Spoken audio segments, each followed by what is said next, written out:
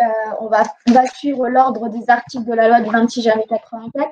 Alors, euh, avant, d'envisager le recrutement d'agents contractuels, d'agents fonctionnaires ou contractuels, se pose la question de la nature de l'emploi et de la nature des besoins auxquels on peut répondre. Parce que de ces deux natures-là va dépendre à la fois le type de contrat qu'on va passer et la procédure qu'on va utiliser pour le recrutement.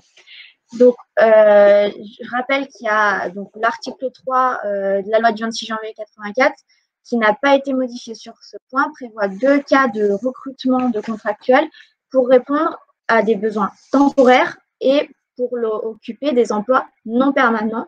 C'est la question du recrutement pour faire face à un besoin, y a un accroissement temporaire d'activité et euh, la question de la réponse à un besoin lié à un accroissement saisonnier d'activité où là, on est vraiment sur des emplois non permanents. Il s'agit de faire face à un besoin qui est temporaire, qui n'a pas vocation à se répéter dans le temps et dans la durée. Et d'ailleurs, les durées de ces contrats sont limitées puisqu'on est limité à 12 euh, et 6 mois euh, pour la durée de ces contrats.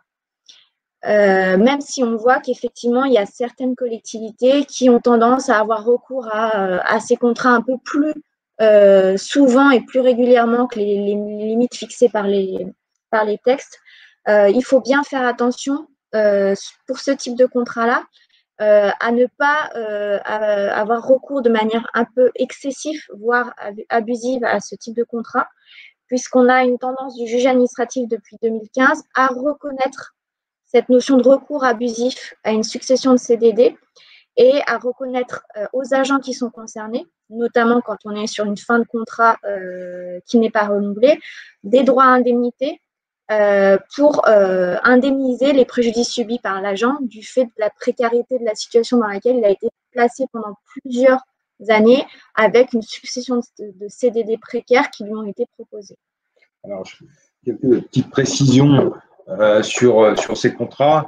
Donc, quand on, est dans le cadre de l'application de l'article 3.1 Premièrement, euh, l'accroissement temporaire d'activité. Donc, on voit effectivement, le texte prévoit que le contrat peut être conclu pour une durée de 12 mois euh, sur une période de 12, 18 mois consécutifs. Donc, on a un maximum de 12 mois sur une période de 18 mois et euh, le même système va s'appliquer par rapport à l'autre hypothèse, le 3.1 deuxièmement, faire face à un besoin lié à un accroissement saisonnier d'activité, c'est six mois en revanche la limitation de la durée du contrat sur 12 mois consécutifs.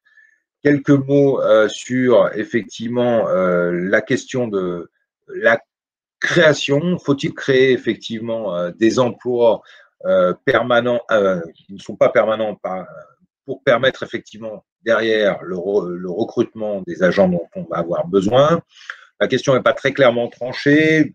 On a eu l'occasion à travers certains dossiers d'examiner le, problème. Euh, pour nous, euh, il est souhaitable effectivement que l'Assemblée délibérante compétente au titre de l'article 34 pour créer les emplois euh, intervienne pour délibérer et créer des emplois non permanents, soit saisonniers, soit en accroissement temporaire d'activité, parce que on aurait pu effectivement se poser la question de savoir si, à partir du moment où ces besoins, l'emploi n'est pas permanent, euh, si on a les crédits suffisants sur la ligne budgétaire afférente, on a la possibilité, euh, l'exécutif a sur cette base-là uniquement la possibilité de recruter. Euh, la question, encore une fois, n'est pas clairement tranchée, mais nous, on pense qu'il est préférable, effectivement, de faire intervenir l'Assemblée pour qu'elle crée ces emplois. Alors, soit on le fait une fois et puis ça, vaut pour la durée, la, durée du mandat, soit euh, le cas échéant, euh, on le fait chaque année en fonction effectivement des besoins effectifs. Sur les modalités de recours euh, au contrat, deux hypothèses. Soit effectivement, on a l'option de se dire, bon, moi je sais que je vais avoir parce que j'ai une saisonnalité dans mon activité liée, par exemple, à la période estivale, euh, et je sais que je vais avoir besoin d'avoir recours à, des contrats pour euh, en, appui de mes services qui sont permanents. Dans ces conditions, je fais un contrat cadre pendant 12 mois où je me dis, tiens, je vais pouvoir pendant ces 12 mois faire appel à des contractuels de façon ponctuelle, mais dans une durée limitée à six mois, y compris dans l'autre hypothèse de l'accroissement temporaire d'activité. Je ferai donc un contrat cadre de 18 mois consécutifs avec, euh, au fur et à mesure de mes besoins, appel, je vais faire appel à l'agent qui a été recruté sur la base de ce contrat cadre. Bien évidemment, il ne faudra pas dépasser la limite des 12 ou 6 mois sur la période de 18 et 12 mois euh, prévus par, par, les textes. Ou alors, je euh, conclus ce qui est plus classique, euh, un contrat au fur et à mesure de mon besoin, à partir du moment où je peux l'évaluer. Rien ne m'empêche d'ailleurs de faire plusieurs contrats si je n'ai pas les idées claires par rapport à la, à la pérennité de mon besoin, entre guillemets, hein, sur 12 euh, mois ou 6 mois. Euh, mais effectivement, les deux options sont possibles. Ce qui est intéressant avec le contrat cadre, c'est que ça, ça, vous, ça, ça vous évite, vous collectivités, d'avoir à chaque fois refaire un contrat. C'est-à-dire qu'on on a un contrat cadre et euh, à chaque fois qu'on fait appel au contractuel, ça s'inscrit dans le cadre de ce contrat cadre. Voilà. Mais euh, et du coup, on est sûr effectivement que l'agent a un cadre juridique euh, qui qui est régulier parce que nous, on s'aperçoit aussi que quand les collectivités sont un peu dans l'urgence, les gens commencent à travailler sans forcément avoir de contrat, etc. Donc, si on anticipe, c'est plus régulier juridiquement plutôt que d'avoir recours à des agents qui, en tout cas pour les premières journées d'intervention, n'ont pas de contrat écrit. Et ça, c'est quand même, c'est quand même pas forcément une bonne chose juridiquement. Euh, et par ailleurs, pour rebondir sur l'observation de Pauline, oui, nous, dans nos dossiers, qu'on constate, c'est que les collectivités, par rapport à cette limitation qui avait fait euh, couler quand même pas mal d'encre à, l'époque sur la limitation euh, de la période pendant laquelle effectivement on pouvait conclure certains contrats pour une période également limitée. Euh, en fait, ce qu'on a constaté, c'est que pour contourner l'obstacle, euh, les collectivités avaient tendance effectivement à basculer d'un contrat sur l'autre. Donc, euh, on, on faisait une période en accroissement temporaire d'activité, puis on poursuivait sur un accroissement saisonnier d'activité, et c'est pas forcément euh, c'est pas forcément effectivement euh, juridiquement très régulier et ça aboutit à des situations qui ont été évoquées par Pauline où euh, finalement vous vous retrouvez avec des agences qui sur deux ans ou trois ans ne cessent jamais en définitive de travailler pour le compte de la collectivité basculant d'une nature de contrat à un autre contrat, et derrière avec une problématique effectivement de recours abusif à des agents contractuels. Donc, c'est pas très régulier. Euh, alors, euh, pourquoi effectivement cet usage de ces contrats est parfois un peu décomplexé? Tout simplement parce que, comme vous le savez, bah, ces contrats, on n'a pas à les transmettre au contrôle de donc on se dit advienne que pourra. Donc, nous, nous vous invitons à vous, enfin, vous faites ce que vous voulez, mais effectivement à être très cadré au niveau effectivement de ces, du recours à ces deux types de contrats et qui répondent effectivement à la réalité de votre besoin, c'est-à-dire est-ce que j'ai vraiment un accroissement temporaire d'activité? Est-ce que je fais face à un accroissement saisonnier d'activité? Pour être le plus juridiquement régulier par rapport euh, à la règle énoncée par le texte. Voilà, je redonne la parole à Pauline, et je ferme la parenthèse. Cet article 3 il prévoit aussi ben, le fameux contrat de projet qui a été euh, mis en, instauré par la, loi de transformation de la fonction publique et euh, pour lequel un décret est intervenu en février 2020 euh, concernant sa mise en œuvre. Donc, à ce jour, je pense que les, contrats de projet n'ont pas encore été conclus ou ils vont bientôt l'être. On est vraiment sur un dispositif tout nouveau, surtout qui a pu être retardé par, la période de confinement qu'on vient de connaître. Donc là, l'idée, c'est vraiment d'être sur un, contrat de, de, recrutement d'un contractuel pour mener à bien un projet ou une opération qu'on aura clairement identifiée. Il ne s'agit pas de répondre ici à un besoin permanent et à, euh, pour pouvoir un, un, emploi euh, permanent. On est véritablement sur un besoin temporaire, temporaire qui va pouvoir être un peu euh, s'étaler dans la durée, mais ça reste un besoin temporaire et l'objectif est de, de, pouvoir un emploi qui n'est pas permanent. On est vraiment sur la notion d'un emploi qui a vocation à disparaître au bout de, quelques mois, voire quelques années. D'ailleurs, la durée de ce contrat, elle est euh, d'une durée minimale d'un an, mais d'une durée maximale de six ans. Et la durée de ce contrat va être déterminée par les parties en fonction de l'opération ou du projet à mener. Donc, il faut, dès le départ, être en mesure de justifier à la fois ce projet, de cette opération, donc de pouvoir la, clairement l'identifier, et à la fois déterminer la durée de réalisation de cette opération ou de ce projet, ou en tout cas de la mission pour laquelle la personne est recrutée dans le cadre de cette opération ou de ce projet. On a ensuite la question alors, du remplacement temporaire des fonctionnaires ou d'agents contractuels qui sont momentanément indisponibles. Euh, là, on est sur un, cas classique qui a, connu quelques évolutions avec la loi de transformation de la fonction publique parce qu'il y a eu des cas euh, d'absence de, de, fonctionnaires ou d'agents contractuels qui ont été rajoutés par rapport à ce qui existait auparavant. Mais on est euh, sinon sur le régime, on est resté sur le même régime qu'auparavant. La durée de ce contrat, elle est nécessairement déterminée, euh, elle n'a pas vocation à, se pérenniser et elle va être fixée en fonction de la durée de l'absence du fonctionnaire ou de l'agent contractuel qui a remplacé. Juste quelques euh, précisions là encore.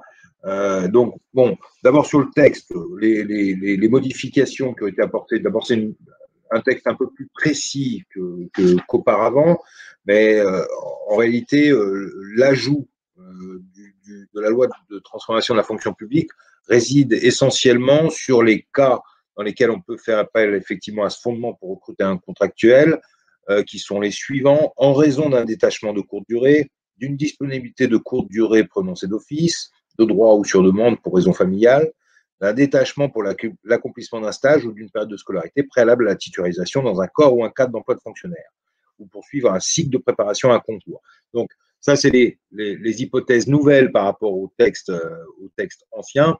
Pour le reste, il n'y a pas de modification. C'est simplement le texte qui précise un petit peu plus les fondements euh, qui euh, permettent effectivement d'avoir un recours à ces agents.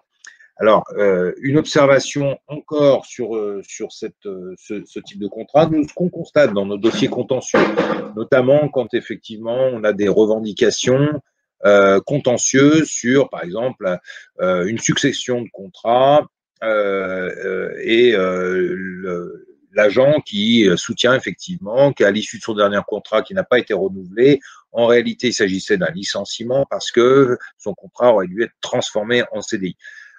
D'abord, ce qu'il faut, ce qu'il faut, la précaution à prendre quand on fait appel à ce type de contrat, c'est d'abord de prendre un soin particulier à la rédaction euh, et euh, de caler précisément les choses au niveau de la durée.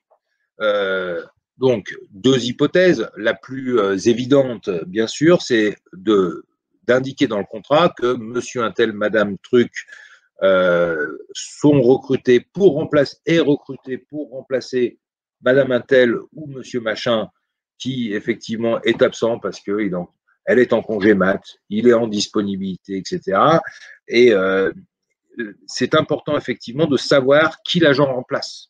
Pourquoi? Parce que euh, ce qu'on s'aperçoit dans nos dossiers, c'est que vous avez des agents euh, qui remplacent et qui sont en fait des agents remplaçants volants.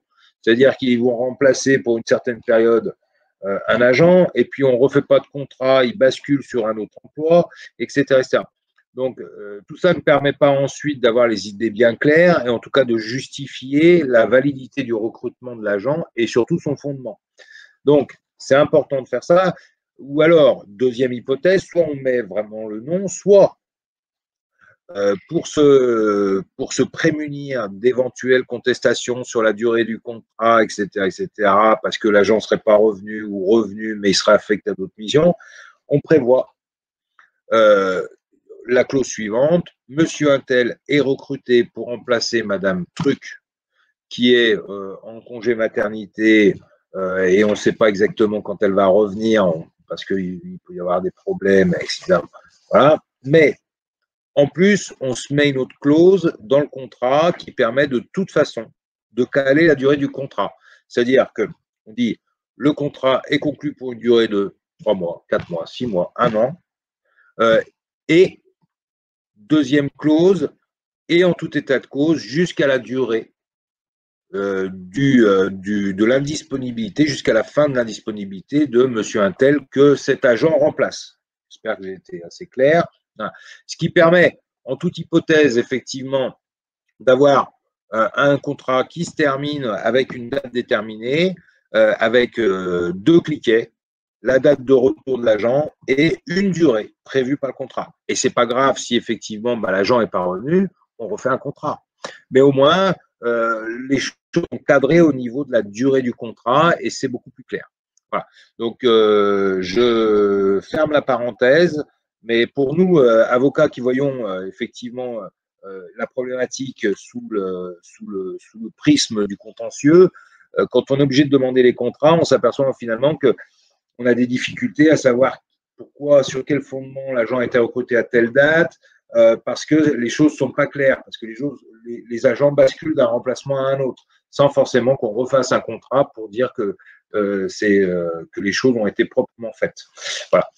Je ferme la parenthèse et je redonne la parole à Pauline ensuite, il y a la question de l'emploi permanent euh, à, pourvoir, mais pour, euh, pour une durée temporaire parce que je suis dans l'attente du recrutement d'un fonctionnaire et euh, dans l'attente de ce recrutement, je vais conclure un contrat pour une durée nécessairement déterminée qui ne pourra excéder un an, éventuellement renouvelable dans la limite d'une durée totale de deux ans.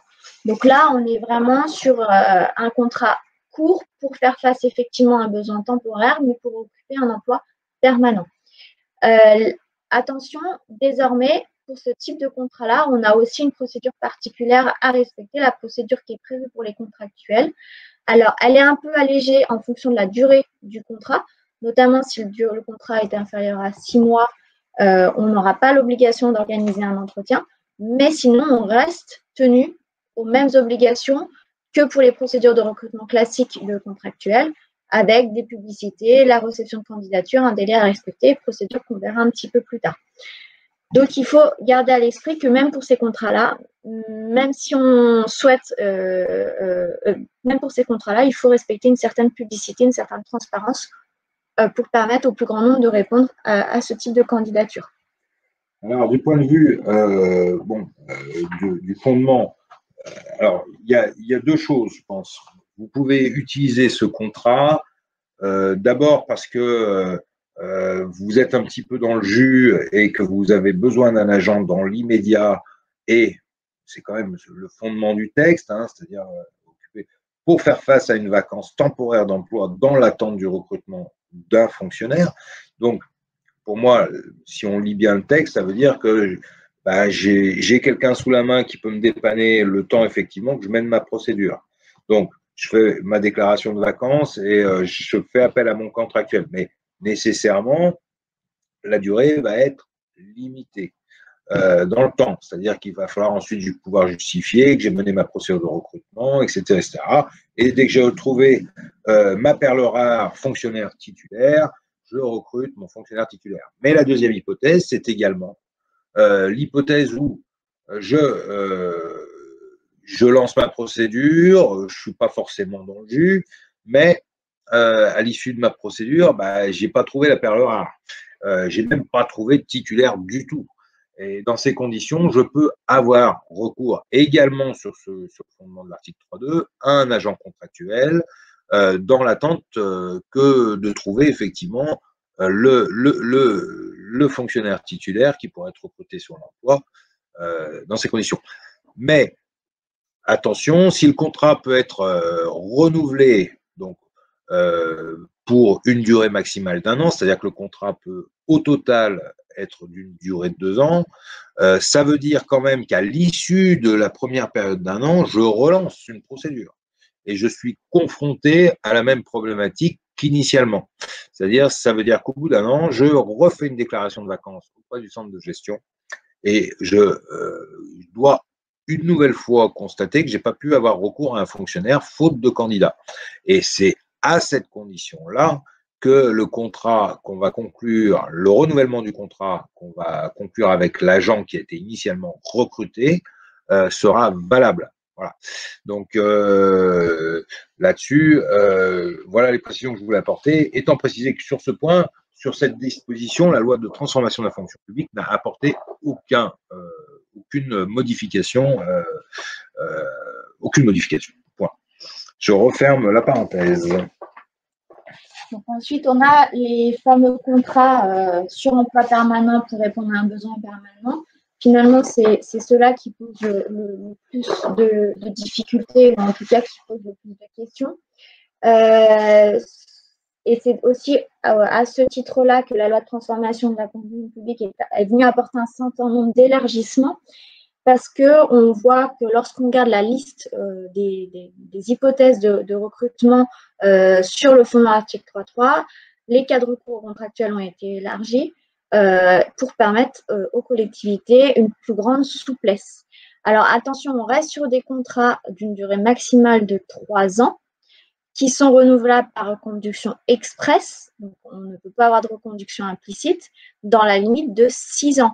Donc, au-delà des six ans, si j'envisage de prolonger le contrat, il faut que je propose un CDI. Et sachant qu'à chaque renouvellement de contrat, je dois à nouveau lancer une procédure de recrutement qui vise à recruter d'abord un fonctionnaire et à défaut un contractuel. Euh, s'agissant des, évolutions apportées par la, loi de transformation de la fonction publique, euh, l'évolution la, plus notable, c'est celle du petit 2 qui prévoit que lorsque les besoins du service ou la nature des fonctions le justifient, et sous réserve qu'aucun fonctionnaire n'ait pu être recruté dans les conditions prévues par la présente loi, on peut recruter un contractuel. L'évolution, elle est importante ici parce qu'avant, on avait la, même disposition, mais elle était limitée aux emplois de niveau de catégorie A. Désormais, à la fois pour les emplois de catégorie B et C, dès lors que je lance une procédure que je n'ai pas pu recruter comme fonctionnaire, je peux avoir recours à un contractuel sans avoir à regarder la taille de la, de, la, le nombre d'habitants au sein de la collectivité, euh, ni euh, la notion de caractère emploi à temps non complet. Les autres hypothèses euh, de, cas de recrutement sur ce moment ont également suivi, connu des évolutions parce que, par exemple, pour le, le petit 3, initialement, c'était seulement les emplois de secrétaire de mairie des communes de moins de 1000 habitants et de secrétaire des groupements de moins de 1000 habitants. Désormais, c'est pour tous les emplois dans les communes de moins de 1000 habitants et dans les groupements de, communes de moins de 15 000 habitants, où on peut ici recourir à des contractuels. De même, euh, pour euh, les emplois à temps non complet, on a eu une évolution avec euh, une possibilité d'avoir recours à des contractuels lorsqu'on a un emploi à temps non complet, quel que soit le seuil de population de la collectivité. Petite précision, il faut ici être en mesure de démontrer qu'on a bien, alors notamment sur le deuxième an, hein, pas nécessairement pour les autres hypothèses, mais sur le deuxième an, donc lorsque le besoin des services et la nature des fonctions le justifient, le, texte dit bien sous réserve qu'aucun fonctionnaire n'a pu être recruté dans les conditions prévues par la présente loi. Donc dans cette hypothèse-là, se pose toujours la question de j'ai un fonctionnaire, mais son profil euh, ne correspond pas nécessairement à mon emploi. Et donc dans ces cas-là, on se retrouve très, très souvent confronté à la question de est-ce que je suis néanmoins tenu de recruter ce fonctionnaire ou je peux privilégier la candidature d'un contractuel dont le profil correspond davantage à l'emploi recherché, à mes attentes en tant qu'employeur. La jurisprudence là-dessus, elle reste assez claire. Le fonctionnaire est titulaire d'un grade qui lui donne vocation à occuper plusieurs emplois, plusieurs fonctions. Donc, dès lors que le fonctionnaire sera titulaire du grade correspondant à l'emploi, normalement, c'est toujours la candidature du fonctionnaire qui doit être privilégiée par rapport à celle du contractuel, même si, a priori, sur le papier, au vu de l'expérience, le contractuel euh, semble euh, correspondre davantage au profil de poste. Alors, on peut toujours essayer de faire le choix de néanmoins privilégier la candidature du, contractuel, quitte à devoir s'expliquer devant le juge administratif. Mais dans ce cas-là, il faut être sûr d'avoir des arguments solides à faire valoir pour pouvoir euh, justifier le recrutement du contractuel. Et là-dessus, la jurisprudence n'est pas toujours favorable aux collectivités. Elle a plutôt tendance à tenir toujours la même ligne de conduite. C'est par principe, on recrute des fonctionnaires. Par exception, on recrute des contractuels. Alors, je, rebondis sur ce que dit Pauline. Euh, prenons l'exemple, par exemple, d'une vacance d'emploi déclarée sur un emploi afférent au grade d'attaché pour occuper un poste de responsable du service urbanisme d'une collectivité où il y a quand même beaucoup de demandes à traiter. On sait que la matière urbanisme est quand même quelque chose d'assez technique. il faut bien connaître sa matière, il faut connaître le contentieux, etc. Bon, imaginons un attaché qui euh, a une longue carrière, mais qui n'a été, euh, qui n'a fait que des ressources humaines. Pendant euh, toute sa carrière, il n'a fait que des ORH, mais il veut se recycler, il veut faire de l'urbanisme. Là va se poser vraiment la question, et légitimement d'ailleurs. Si j'ai un contractuel qui, lui, ben, justifie d'une expérience en matière de droit de l'urbanisme extrêmement longue, extrêmement précise, où il a fait de l'instruction de permis de construire, etc., pendant des années, euh, et que euh, vous avez à côté ce fonctionnaire titulaire, mais qui a aucune expérience, légitimement, euh, si d'aventure on peut expliquer CV à la pluie que ben, très bien, l'attaché à le grade et qui normalement devrait lui donner vocation à exercer les fonctions, mais pour autant, ben, c'est quand même compliqué de lui donner les, clés de la boutique ou du service euh, alors qu'il n'a jamais eu cette expérience euh, et qu'il ne connaît pas du tout euh, le droit de l'urbanisme. c'est là effectivement que je pense quand même on peut justifier devant le juge le recours contractuel. Mais c'est vrai que le juge a une vision très réglementaire de la, question et se dit, moi, j'ai un texte qui me dit que un statut particulier, qui me dit qu'un attaché peut faire ça, ça, ça, ça, ça. Je considère donc, et le juge, vraiment la tendance est là, hein, euh, le juge a, tendance à considérer qu'à partir du moment où un fonctionnaire titulaire a le grade, qui lui donne vocation à exercer les, fonctions afférentes à l'emploi, euh, il faut privilégier, voire même recruter le fonctionnaire. Parce que euh, si vous avez recours au contractuel, bah, le juge risque de vous dire oui, mais vous aviez un titulaire qui, euh, qui vous m'avez présenté le nombre, les, candidats qui, ont envoyé une lettre de CV, un CV, une motivation, etc. Et euh, moi, je constate qu'il y, a un attaché qui a répondu et un attaché, bah, votre fiche de poste, votre profil de poste, il correspond à celui d'un attaché. Donc, là, il y, a, quand même un espace de risque quand effectivement, euh, même dans cette hypothèse-là où le recours contractuel apparaît justifié, le, on fait quand même le, on, fait, on fait le choix de le recruter, mais euh, avec une candidature de titulaire à côté qui pourrait euh, remplir les fonctions. Donc, première précision. deuxième précision. donc aujourd'hui, comme Pauline l'a très bien dit, l'hypothèse du deuxièmement prévu par l'article 3.3, donc je rappelle, lorsque les besoins des services ou la nature des fonctions le justifient et sous réserve qu'aucun fonctionnaire n'ait pu être recruté dans les conditions prévues par la présente loi. Première observation, déjà, euh, qu'est-ce que recouvrent euh, les besoins du service? Pauline l'a dit, c'est lorsqu'on est, on se retrouve face à une procédure d'appel à candidature qui s'avère infructueuse. Un petit peu euh, comme en marché où euh, personne ne répond à l'offre. Donc là, on n'a aucun titulaire qui a non seulement le grade, mais également le profil, avec les réserves que j'ai mises à l'instant. et dans ces conditions, il faut qu'on a quand même l'année, on doit pourvoir l'emploi. À côté de ça, on a un contractuel qui, qui peut faire effectivement l'affaire. Donc, c'est ça les besoins du service. Hein, au, sens de la jurisprudence, c'est quasiment la seule hypothèse euh, dans laquelle on peut utiliser cette notion. La nature des fonctions. La nature des fonctions, en revanche, euh, il faut que, au regard effectivement de la construction statutaire qui couvre à peu près tous les métiers, euh, il faut vraiment qu'on soit face à des fonctions d'une spécificité telle que l'ensemble, qu'aucun des cadres d'emploi de la fonction publique territoriale ne puisse effectivement remplir les missions afférentes. Alors, euh, je, m'étais noté deux, trois exemples. Par exemple, un astronome dans un planétarium. C'est des exemples jurisprudentiels. Hein. Là, effectivement, on peut justifier que la nature des fonctions euh, entraîne effectivement le recours à un agent contractuel ou un taxidermiste. Excusez-moi, c'est des exemples un petit peu, atypiques dans un musée d'histoire naturelle on aurait pu dire aussi un scaphandrier, peu importe, euh, pour les travaux en, grande profondeur. Bon, euh, donc on est vraiment sur cette hypothèse sur euh, une tête d'épingle. Hein. Je dirais les cas sont quand même sont quand même pas pléthoriques. Donc, vous reste dans la majeure partie des cas les besoins du service pour justifier le recours à un contractuel sur ce fondement de l'article 2. Mais attention, euh, par exemple, la jurisprudence estime que le recours à un informaticien et nonobstant euh, les exigences de la collectivité sur le niveau technique de l'informaticien ne justifie pas effectivement le recours à un agent contractuel sur ce fondement. Donc, voilà exposer un petit peu le principe des besoins du service. Euh, et euh, lorsqu'effectivement on remplit peu ou prou cette condition, on peut avoir recours au contractuel. Et là, la différence essentielle avec l'ancien texte, c'est que peu importe la catégorie, vous pouvez y aller sur du A, du B, du C, et quelles que soient les filières. Euh, juste une dernière observation, et je redonnerai la parole à Pauline.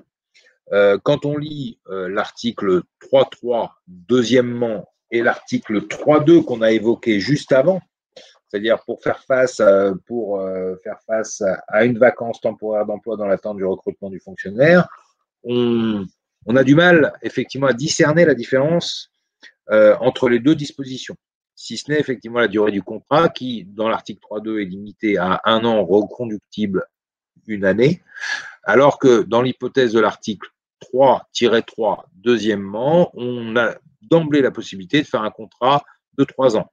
Pour moi, les deux hypothèses se recoupent.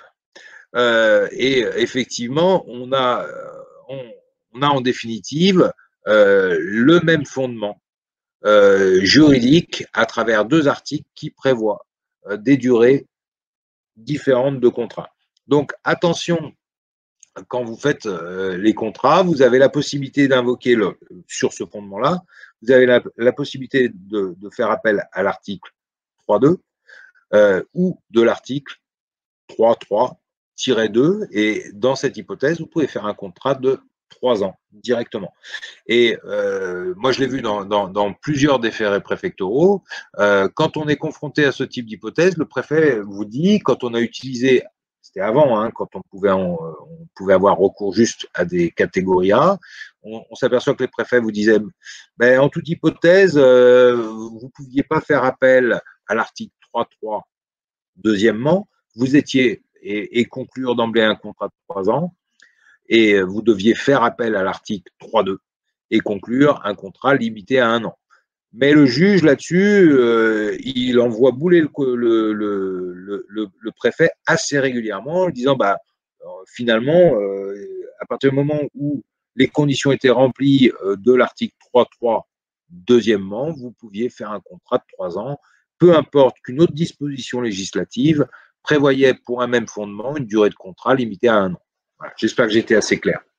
Je referme la parenthèse. Donc on a ensuite euh, les recrutements euh, sur emploi fonctionnel euh, de l'article 47. là ici, donc on a la liste, ça concerne les DGS et les DGA des départements et des régions et des collectivités qui exercent les, compétences des départements et des régions. Donc ici, on pense notamment à la métropole de Lyon, qui sur le territoire de la métropole de Lyon exerce les, compétences du département du Rhône. On a aussi les DGS et les DGA des services et les DGST des communes de plus de 40 000 habitants et des EPCI à fiscalité propre de plus de 40 000 habitants. Alors, la petite évolution avec la loi de transformation de la fonction publique, on a le seuil qui est abaissé Autrefois, on était sur des communes ou des EPCI à fiscalité propre de plus de, de, plus de 80 000 habitants. Euh, de la même façon, euh, c'est le décret de, mars qui vient modifier, euh, qui vient repréciser la liste des directeurs généraux des établissements publics dont les caractéristiques et l'importance justifient qu'on puisse avoir besoin, qu'on puisse avoir recours à un recrutement direct de contractuels. C'est-à-dire que là, à ce stade, on n'a pas l'obligation de recruter un fonctionnaire. On peut décider de recruter un contractuel dès lors qu'on respecte les emplois cités et les, seuils de population exigés. Pour ces établissements-là, on est sur des établissements du type, du type CNFPT, directeur général du CNFPT, des centres de gestion départementaux ou interdépartementaux, comme ceux de la petite couronne et de la grande couronne, les caisses de crédit municipales, euh, les CCAS, les CIAS, etc., etc. Sur la durée du contrat, on est sur une durée maximale de trois ans qui peut être renouvelée par période d'une durée maximale de trois ans. Le texte précise bien, comme c'était le cas auparavant, que ces CDD ne peuvent jamais donner lieu à titularisation. En revanche, la loi de transformation de la fonction publique est venue apporter une précision, voire un, même un petit revirement par, rapport à ce qui existait auparavant, puisqu'elle précise que la reconduction du contrat ne peut jamais être à durée indéterminée. En effet, on a un arrêt du Conseil d'État qui était intervenu le 30 novembre 2015 et qui, qui avait jugé que ces contrats-là, puisque c'était des contrats atypiques, qui ne relevaient pas du même régime que les, les contrats de l'article 3 et suivants, pouvait donner lieu au choix de la collectivité à un contrat à durée déterminée ou à un contrat à durée indéterminée. Désormais, l'article 47 prévoit bien qu'il n'y a ni titularisation, ni transformation du, contrat en contrat à durée indéterminée. En fait, l'hésitation auparavant, euh, euh, parce qu'il y a eu des, des tergiversations jurisprudentielles sur l'article 47, le Conseil d'État avait dit dans un premier temps, vous devez Nonobstant le fait que le texte ne prévoit pas effectivement de durée au contrat, vous devez vous aligner sur la durée maximale des contrats, article 3. Et du coup, on avait la première position du Conseil d'État sur ce volet, Conseil d'État au cours administratif, je ne sais plus, euh, qui vous disait, bah, euh, de toute façon, vous devez faire un contrat euh, à durée déterminée parce que dans la fonction publique, c'est pas possible d'avoir d'emblée recours à des contractuels à durée indéterminée. Puis le Conseil d'État est revenu dans l'arrêt qui est cité par Pauline euh, sur, cette position jurisprudentielle en disant que, euh, en définitive, c'était un contrat euh, ad hoc où il n'y avait rien et que finalement, il fallait considérer qu'on pouvait faire les deux, un CDD ou un CDI. Là, la loi pose en principe que les contrats article 47 sont des contrats à durée déterminée, limités à trois ans. Avec euh, une précision néanmoins, c'est que peu importe finalement euh, que le contrat soit euh, limité à trois ans, puisque le recrutement est en direct et donc entre guillemets discrétionnaire, finalement, si on veut renouveler le contrat, on a plus à montrer, on n'a pas à montrer pas de blanche devant le contrôle de l'égalité, justifier le recours à un agent contractuel, on fait ce qu'on veut. Donc, euh, euh, à, partir de là, il est vrai que le contrat, qu'il soit durée déterminée ou qu'il soit durée indéterminée, ça ne change pas vraiment la donne. Euh, le, la seule, la seule, le seul cliquet qui, peut effectivement être intéressant, c'est quand l'exécutif euh, effectivement décide au bout de trois ans de mettre fin au contrat, puisque ça sera une fin de contrat programmée et, non pas un licenciement. Étant précisé que pour les emplois article 47, de toute façon, le licenciement reste euh, basé sur des motifs, là encore, quasi discrétionnaires. On parle de spoil system par référence effectivement aux, aux motifs peuvent justifier une décharge de fonction. Donc, de toute façon, le licenciement reste quand même assez souple euh, dans les motifs et dans la procédure, hein, qui est quand même très très compliqué. Donc, finalement, que ce soit à durée déterminée ou indéterminée, pour moi, ça ne change pas fondamentalement la donne euh, en, la matière. Voilà, je referme la parenthèse. Euh, donc, donc l'article 47 a un petit peu été modifié euh, par la transformation de la fonction publique et euh, donc renvoie au décret qui, est intervenu le 13 mars.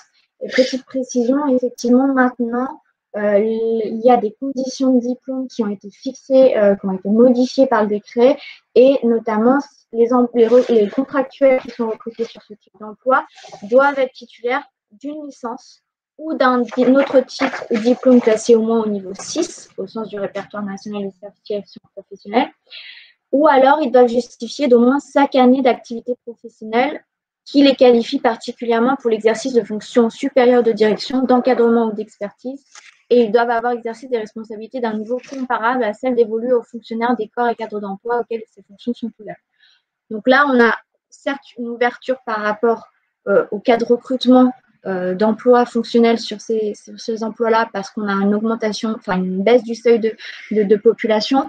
Mais en revanche, on a des conditions un peu plus strictes en termes de diplôme ou d'expérience professionnelle Et c'est sur, à mon avis, ces conditions-là que le préfet va être amené à vérifier qu'effectivement l'agent qui est recruté sur ces emplois-là respecte bien les conditions de diplôme ou d'expérience professionnelle. Mais on n'aura pas, est-ce n'aura pas la question qui se pose, est-ce qu'on a bien un fonctionnaire qui a pu être, qui a pu postuler et qui aurait dû être recruté? On sera plutôt sur est-ce que le recrutement des contractuels respecte les conditions, notamment réglementaires, en termes de diplôme et d'expérience professionnelle? Juste pour mémoire, les conditions qui étaient requises auparavant par le décret 88-545, euh, il était plus soft, euh, c'est-à-dire il, autorisait de, plus, de façon plus aisée le recours à des agents contractuels sur ce type d'emploi, puisque au-delà de la condition de diplôme, première condition alternative, la deuxième condition, c'était avoir exercé effectivement pendant cinq ans des fonctions du niveau de la catégorie A dans un établissement d'une administration publique ou avoir eu pendant la même durée la qualité de cadre au sens de la convention collective dont elle relevait. Donc j'ai été cadre dans une société privée, euh, euh, j'ai fait toute autre chose euh, et je l'ai fait, j'ai été classé cadre pendant cinq ans, boum, je peux me retrouver directeur général des services d'un département. Bon, je connais pas le fonctionnement. Euh, si ça se trouve, j'ai jamais eu d'encadrement, je vais avoir 2000 euh, agents à, gérer, etc. Aujourd'hui, la deuxième condition alternative, comme Pauline l'a cité, me semble quand même un peu plus précise sur les qualités requises, euh, si tant est effectivement qui remplit pas la condition de diplôme. Hein, euh, puisque c'est euh, soit justifié d'au moins cinq années d'activité professionnelle les qualifiant particulièrement pour l'exercice de fonctions supérieures de direction, d'encadrement ou d'expertise et avoir exercé des responsabilités d'un niveau comparable à celles dévolues aux fonctionnaires des corps et cadres d'emploi auxquels ces fonctions sont ouvertes. Donc ça veut dire que si j'ai pas la condition de diplôme, il faut à tout le moins que mon CV démontre que je peux gérer une boutique comme celle que j'ai vocation à diriger si je suis recruté en article 47. Ce qui est quand même pas tout à fait la même chose et qui me semble beaucoup plus exigeant que la rédaction antérieure du texte, euh, qui euh, ouvrait aux quatre vents le recours à des contractuels en article 47. Euh, je vais le dire, même si c'est peut-être un peu, un peu caricatural, mais quand on, quand on, on, se rapproche effectivement d'une comparabilité en termes de responsabilité, de fonction, euh, et on ne peut plus recruter les copains, ou les copains des copains. Donc, euh, encore faut-il que si j'ai pas la condition de diplôme, je puisse démontrer que dans la boîte privée euh, dans laquelle j'étais auparavant employé ou au titre de mes fonctions, j'avais des responsabilités similaires. Et là, si j'ai pas la condition de diplôme et que le préfet défère, euh, il y aura une analyse qui sera faite à in concreto de la part du juge pour dire bah, est-ce que votre CV vous donnez vocation à être DG, euh, DGS d'un département, euh, d'une grosse communauté d'agglomération, etc., etc. Donc, c'est donc c'est une analyse en demi-teinte, c'est une ouverture législative euh, on est bien d'accord, hein, puisque le, recours au, DGS maintenant, enfin, le recours à l'article 47 est ouvert dans toutes les collectivités de plus de 40, non seulement pour les DGS et les DGA, mais, avec euh, une restriction au niveau des conditions pour être recruté sur ce fondement euh, prévue par le décret. Donc, c'est ce qui est intéressant d'ailleurs dans, dans, cette lecture. Quand j'étais intervenu sur les emplois fonctionnels à l'époque il n'y a pas si longtemps, euh, avec euh, Monsieur Gévaudan euh, chez vous en, présentiel. effectivement, on avait évoqué cette, cette, cette question qui avait, qui avait suscité pas mal de commentaires, mais le décret, lui, vient un petit peu restreindre, en quelque sorte, en tout cas, est plus exigeant au niveau effectivement des qualités requises par les agents. Voilà, je ferme la parenthèse. Euh, avant de passer au contrat de projet, il y a peut-être euh, des questions euh, sur, sur, ce qu'on vient d'évoquer. Alors, j'appelle effectivement l'ensemble des, des, participants à formuler leur, leur demande par le biais du chat, comme je l'indiquais tout à l'heure. Qui veut prendre la parole?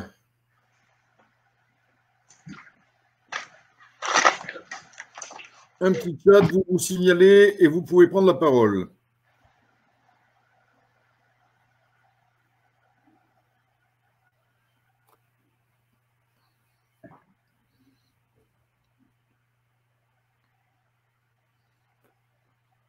Pas de questions. Eh bien, on va poursuivre alors. Moi, j'aurais tendance, à vous demander peut-être de, de, repréciser sur le dernier point qui, comme vous le savez, m'intéresse particulièrement. Euh, moi, de prime abord, je n'ai pas vraiment l'impression que le décret restreigne euh, véritablement la liberté nouvelle qui est faite aux exécutifs de recruter assez librement par la voie du contrat euh, l'ensemble de leur euh, équipe de direction, DG et DGA, au-dessus de 40 000 habitants, ainsi que pour tous les établissements assimilés du reste euh, à, cette, à cette jauge. Parce qu'en fait, il faut bien voir ce que vont devenir les, les préoccupations qui certes figurent dans le décret en pratique. je suis d'accord avec vous, on ne peut pas à ce niveau-là de, responsabilité se contenter de recruter des connaissances. il, faut, il faut insuffler dans tout ça du professionnalisme, etc. Euh, et, donc, en termes de garde-fous, on peut toujours avoir quelques craintes. Euh, pourquoi pensez-vous que le, décret soit venu, euh, disons, poser des garanties supplémentaires Elles sont, quand on voit par exemple au niveau de la licence, etc., tout ça est, certes théorique. Aujourd'hui, on recrute des, rédacteurs qui ont des diplômes de troisième cycle. Alors, pour le DG, c'est bien le moins qu'on exige de lui qu'il ait une licence ou, quelque chose de comparable je suis, je, suis, je suis d'accord. C'est vrai qu'aujourd'hui, euh, euh, nous aussi, quand on recrute des, jeunes collaborateurs avocats, ils ont bac plus 6, voire des, parfois voilà, 7. Bon, euh, mais je pense que, en fait, c'est la deuxième condition qui est alternative. L'agent, qui, la personne qui a, qui a pas de diplôme, elle, elle ne pourra pas rentrer les mains dans les poches dans la collectivité. C'est ça. Ah ben oui, oui, oui. oui. Non, mais ce qui, ce qui, était parfaitement possible avant. Vous aviez des. Euh, moi, j'ai connu des DRH de très grosses collectivités euh, qui n'avaient jamais mis les pieds dans une collectivité, qui étaient recrutés en article 47 euh, sur des postes de DGA, et parce qu'ils avaient une expérience dans le privé. Mais disons que ça, c'est plus possible aujourd'hui. Alors, c'est un mieux, on est d'accord. De, ce point de vue-là, on va dire que c'est un mieux. C'était même alors une urgence que d'empêcher ce genre de choses, parce que franchement, bref, bref, bref, bref.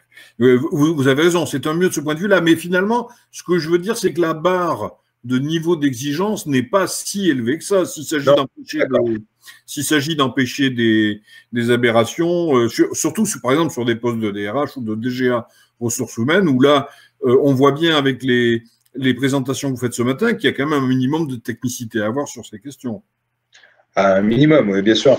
Et, euh, non, mais je vous rejoins sur euh, le, niveau de diplôme. On aurait pu, on aurait pu penser que euh, le décret aurait fixé au moins un bac plus 5. Voilà.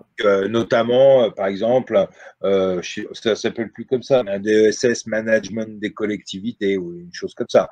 bien sûr. ça, aurait été effectivement plus pertinent. Surtout qu'on est quand même sur des emplois avec des lourdes responsabilités derrière. Donc je, suis d'accord avec vous sur la condition de diplôme. C'est pas bon. Maintenant, tout le monde a au moins une licence quand il postule à ce genre de poste. Et c'est l'autre condition qui est quand même beaucoup plus, qui à mon sens, si on n'est pas dans le, la première condition liée aux conditions de diplôme, l'autre est plus exigeante. Après, ce qui aurait été, ce qui aurait été l'idéal, effectivement, c'est que les deux conditions soient cumulatives. Oui. Alors là, ça, aurait effectivement, euh, je dirais, ça vous aurait satisfait, je pense, mhm. euh, parce que ça aurait limité fortement, effectivement, les cas de recours contractuels, parce que peu de gens auraient finalement justifié des conditions cumulatives. Alors, Madame Delpi souhaite poser une question du Conseil de la Corrèze, donc je l'invite à allumer son micro et à, apparaître à l'écran pour poser sa question.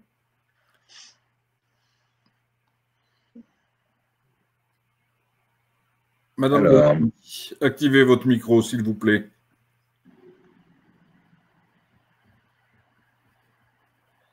Peut-être. Bonjour. Bonjour. Bonjour. Excusez-moi, j'avais un problème technique. C'est pour ça que j'ai un peu de retard.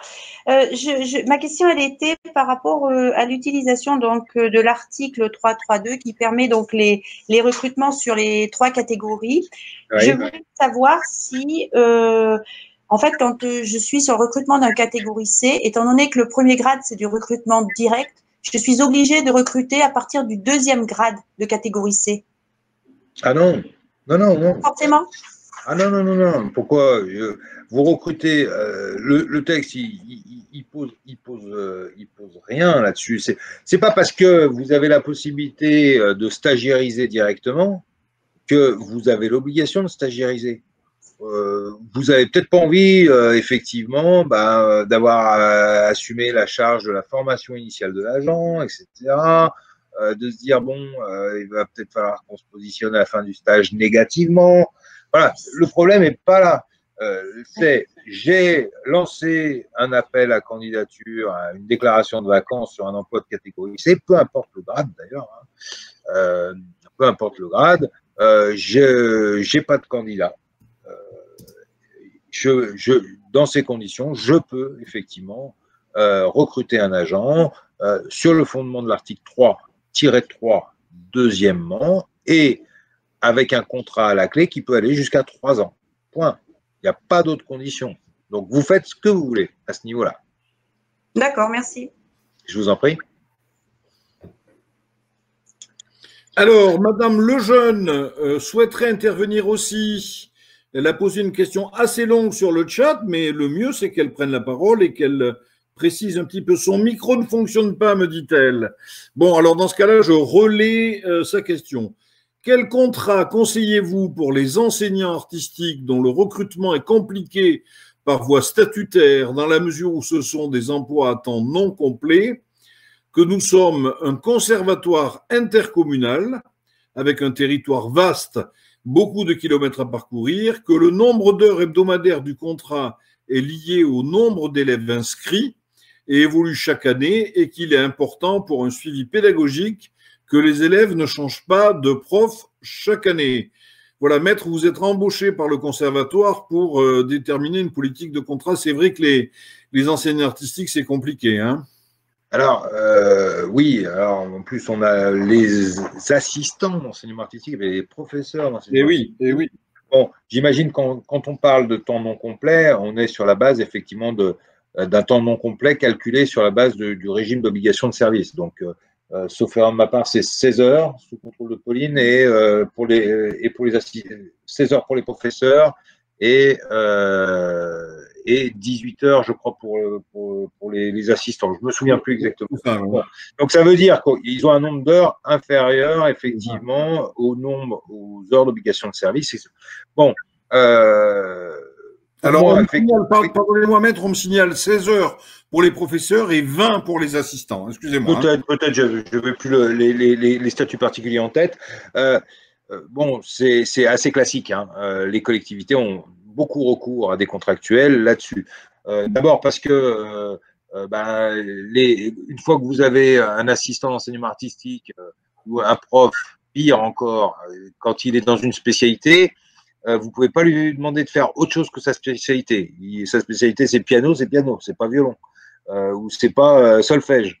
Donc, il faut occuper, c'est-à-dire il faut qu'on ait suffisamment d'élèves pour l'occuper au niveau du nombre d'heures. Sinon, on est en déficit d'heures, mais on sera obligé de le payer le nombre d'heures qui, qui le, le, nombre d'heures prévu effectivement par, par son statut particulier et par le nombre d'heures euh, qui, sont, qui, qui est rattaché à l'emploi. Donc, c'est vrai qu'en pratique, on voit énormément effectivement de collectivités qui font appel à des contractuels. Moi, je serais d'avis, justement, pour, euh, parce que d'une année sur l'autre, c'est vrai qu'on ne sait pas quel va être notre besoin parce que ça dépend du nombre d'élèves inscrits au cours. Moi, c'est effectivement d'abord de lancer la procédure classique, parce que là, il n'y a pas de dérogation, hein, le principe reste le même, on doit avoir recours à des agents titulaires en priorité, c'est si on n'arrive pas à en trouver, qu'on on a recours à des agents contractuels, euh, première chose. Et deuxième chose, c'est de limiter la durée du contrat sur, euh, sur l'année euh, sur l'année sur l'année scolaire. Hein. Alors, bon, avec peut-être une petite injustice si on commence en septembre et qu'on finit en juin, puisque du coup, bah, on n'a pas les congés qui vont, qui vont avec. Euh, bon, alors ça c'est comme ça, hein, c'est pas c'est pas dû non plus, euh, mais c'est vrai que euh, ce qui est ce qui est le mieux effectivement pour ne pas avoir, excusez-moi de le dire, mais à payer des gens à ne rien faire parce qu'on est en déficit d'élèves et donc on n'a pas assez d'heures de cours pour les occuper parce qui est ce qui est prévu par le contrat d'une année sur l'autre, il est préférable effectivement d'avoir de, de, faire des contrats qui sont calqués sur la durée de l'année d'ouverture de l'établissement. Si, je ne sais pas si j'ai répondu à la question. Alors, est-ce que il y, a plusieurs personnes qui se déclaraient intéressées et preneurs d'une réponse, comme Vanessa par exemple à Saint-Thirier est-ce que la réponse de, Maître Vergne euh, vous convient? Oui, oui, sur emploi permanent, c'est nécessairement un emploi permanent. Enfin, ce sont des emplois permanents, donc ah euh, c'est juste la quantité d'heures qui varie d'une année sur l'autre, mais vous avez un besoin qui est permanent, donc c'est un emploi permanent. Mais c'est vrai qu'on voit aussi beaucoup de collectivités qui vont avoir recours à des, contrats ou des, actes unilatérales de vacation et là, on n'est pas du tout sur le bon, système juridique parce que on est sur un besoin permanent, certes avec une quantité de travail qui varie d'une année sur l'autre, mais on est bien sur un emploi euh, qui répond à un besoin permanent. Donc, euh, il faut relancer à chaque fois la procédure. Si... Ce qui ne veut pas dire, si vous avez effectivement un déficit chronique d'élèves, que la, collectivité, elle se dise, bon, euh, l'afflux de traversière, on arrête. Et donc, je supprime l'emploi. Vous voyez ce que je veux dire? Euh, Voilà, mais je, je, je, je pense, euh, je pense euh, comme Pauline, que le besoin, il est bien permanent. C'est pas un besoin, euh, on ne sait pas trop. Euh, non, non, on a besoin d'un prof ou on n'en a pas, on n'en a plus besoin. Et là, on supprime l'emploi. Donc, il faut prendre, il faut prendre la mesure du truc. La, la, la, question est quand même pas complètement, voilà. Je dirais, des, quand vous êtes encore une fois professeur de clarinette basse, vous êtes professeur de clarinette basse, vous n'êtes pas professeur d'autre chose. Euh, et on peut pas vous, vous n'êtes pas fongible dans les fonctions, sauf à ce que les gens soient euh, dans leur façon d'appréhender leur, leur métier un peu plus souple, euh, etc. Mais, mais statutairement et du point de vue du juge administratif, dans la mesure où vous pouvez pas affecter un agent qui a une spécialité dans une autre spécialité et que vous avez un déficit d'heures dans sa spécialité, eh ben, euh, bon, au début, l'emploi, le besoin était permanent, mais finalement, vous dites que euh, ça marche pas, j'ai pas assez d'élèves, je suis pas en mesure d'occuper mon agent à temps. Soit je réduis la quantité d'heures afférentes à mon emploi dans les conditions qui sont prévues par l'article 97 de la loi de 84, soit je supprime carrément l'emploi en disant bon, on va arrêter la clarinette basse parce que ça intéresse personne, euh, ou euh, je ne sais pas trop quel instrument, euh, mais voilà. Mais c'est pour moi, surtout dans un conservatoire, le besoin en prof, le besoin en assistant d'enseignement artistique, il est, il correspond à un besoin permanent. On n'est pas sur un besoin qui est non permanent. Donc là-dessus, je crois qu'il n'y a aucune ambiguïté sur, sur la nature du besoin. Donc on va être. toutefois, maître, j'ai une remarque et je, pardonnez-moi, je vous interromps. J'ai une remarque. de Cécile aussi à Saint-Thirier, si je, je, crois bien. Euh, qui nous dit oui, c'est un emploi permanent, mais il n'a pas vocation finalement à être euh, régulièrement vacant pendant l'été. Il est permanent, euh, mais de fait, les collectivités ont du mal à le traiter comme tel aussi, parce que ça veut dire qu'on sait à l'avance qu'il, du fait de l'alignement assez général, quoique pas forcé à mon avis, sur le calendrier scolaire, on a régulièrement des emplois permanents qui sont complètement euh, ah bah pendant l'été. Euh, vous voyez, hein, je ne veux pas ouvrir un débat qui serait complexe. Non, mais en fait, ça mérite presque une. je vous le glisse, monsieur le directeur, mais ça, mériterait presque une intervention en tant que telle Sur, euh, la, filière artistique. Parce que c'est bon, ce que vous dites est très juste. C'est-à-dire que, en fait, c'est pas parce que l'agent il doit pas travailler euh, ou que son statut prévoit qu'il ne travaille pas pendant les vacances. C'est tout simplement parce que bah, le conservatoire est fermé pendant les vacances d'été. et, que le juge administratif a considéré qu'on ne pouvait pas annuler, annualiser le temps de travail de la filière artistique comme pour les agents qui sont soumis à, un régime d'obligation de service. C'est ça le, le, le, le, problème, parce que si on avait pu annualiser, on, on, leur a demandé de faire non pas 16 heures pour les profs, mais euh, mais 25 heures euh, pour tenir compte effectivement de la fermeture de l'établissement, etc. Mais le Conseil d'État a dit que ce n'était pas possible. Donc, euh, bon, c'est pas, c'est une question en fait presque en tant que telle et qui nous mènerait trop loin, je pense, euh, de s'aventurer dans, dans, dans, la, la, problématique très spécifique de la filière artistique. Euh, que je connais bien par ailleurs pour euh, voilà pour avoir eu pas mal de dossiers là-dessus. Euh, voilà. Et par rapport à la question juste qui que j'ai vu s'afficher sur la modification effectivement du temps de travail. Alors déjà, j'ai plus les idées claires, mais je sais que la loi de transformation de la fonction publique a encore assoupli les règles effectivement de, euh, de réduction des heures afférentes à l'emploi. Et je crois qu'il y a un décret d'application qui était prévu, mais je suis pas sûr qu'il soit sorti. Euh, pour, euh, pour dire, bah, si l'agent refuse la diminution ou l'augmentation de ses heures, bah, on est obligé de mettre fin, enfin, de, soit de licencier, je sais plus exactement comment c'est formulé par le truc. Là aussi, Bon, c'est pas le cœur de notre, de, notre, de notre intervention de ce matin, donc je ne vais pas m'y attarder. Mais, de toute façon. Si vous en êtes d'accord, on pourra programmer, pour, pour clore cette parenthèse, parce que je vois sur le chat une, une multitude de questions, finalement, sur euh, la filière artistique et euh, l'enseignement artistique en particulier. Et donc, je me dis qu'on aurait euh, matière à organiser spécifiquement quelque chose là-dessus. Hein. Ah bah, il y a la matière, oui, ça c'est Absolument, absolument. Et euh, j'ai moi-même une petite expérience à mettre au, à la connaissance des uns et des autres là-dessus. Donc, donc on, y reviendra, hein, j'en serai très heureux, et en marge de cette séance, on pourra peut-être en discuter, se mettre d'accord sur quelque chose. je, je, voudrais juste passer la parole aux, gens qui se sont signalés, parce qu'il y en a plusieurs. Il y en a pas mal, oui. Et je voudrais que, euh, alors en commençant par Madame Chattard de la communauté de Noblin, si elle veut bien intervenir pour solliciter une précision, en activant son micro.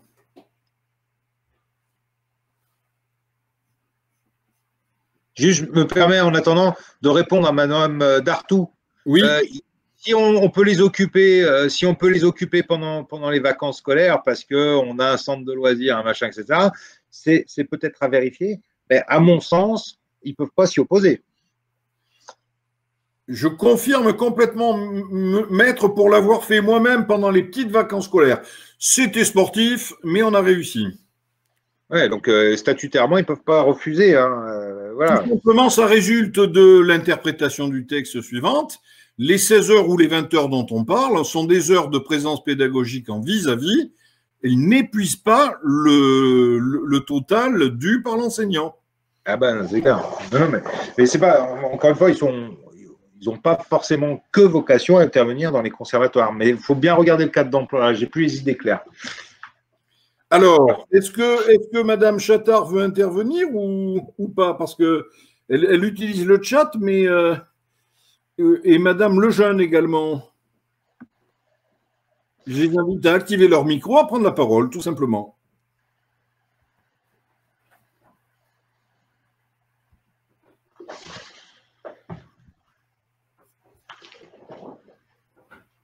Je ne peux pas, me dit Madame Lejeune. Alors ça doit être une histoire de micro. Certainement pas de timidité. Et Madame Chattard n'arrive pas à activer son micro. Ah, alors, euh, il faut cliquer sur la petite icône. En principe, ça suffit. Hein mais bon, je vais revenir à leur question, alors rédiger. Mais c'est un peu plus lourd, vous voyez, euh, comme fonctionnement. La suppression et la création d'emplois est assez longue, sachant que le nombre d'inscrits euh, est connu en septembre, me, dit Madame Cécile Lejeune, par exemple. Eh ben, je pense qu'il faut, dans ces conditions, euh, créer les emplois, mais avec une durée d'heures à minima. Euh, et, euh, et, et, ensuite augmenter le nombre d'heures, parce que là c'est plus, c'est, plus, c'est plus simple, euh, plutôt que l'inverse. voilà. donc moi je suis dans cette hypothèse-là. On, crée nos emplois ou on modifie nos emplois à la fin de la saison pour tenir compte effectivement de, nos prévisions. Euh, et, euh, euh, si d'aventure il y a, trop d'élèves, eh ben on passe en CT, on, augmente. Je suis même pas persuadé qu'on doit passer en CT pour ça. On augmente, on augmente le nombre d'heures afférentes à l'emploi. Dans ce sens-là, ça pose rarement de difficultés. Oui, oui, c'est une, petite astuce. On peut créer aussi des emplois qu'on ne pourvoit pas. Si j'ai deux hypothèses de travail, euh, quelques heures et, un petit peu plus, et ben après tout, qu'est-ce qui m'empêche de créer les deux emplois avec des quotités différentes et de ne pourvoir que celui qui sera confirmé par le niveau des inscriptions? Ben voilà. Hein. C'est des, choses qu'il ne faut pas hésiter à faire. Euh, alors, une. Alors, la réponse de Mme Dartou, je crois qu'on a, on a répondu à Mme Dartou. Hein. Euh, donc, je crois qu'on doit être à peu près à jour. Euh, juste la question de Mme Chattard sur euh, l'éventuelle prochaine loi de résorption de l'emploi précaire. Ah il n'y en a pas pour l'instant qui est prévue. Sachant que la dernière, alors oui, c'était 2012, mais en 2016, la loi déontologie était venue proroger le dispositif. Donc là, pour l'instant, ce n'est pas d'actualité. En tout cas, ce n'est pas dans les tuyaux pour cette année. Oui,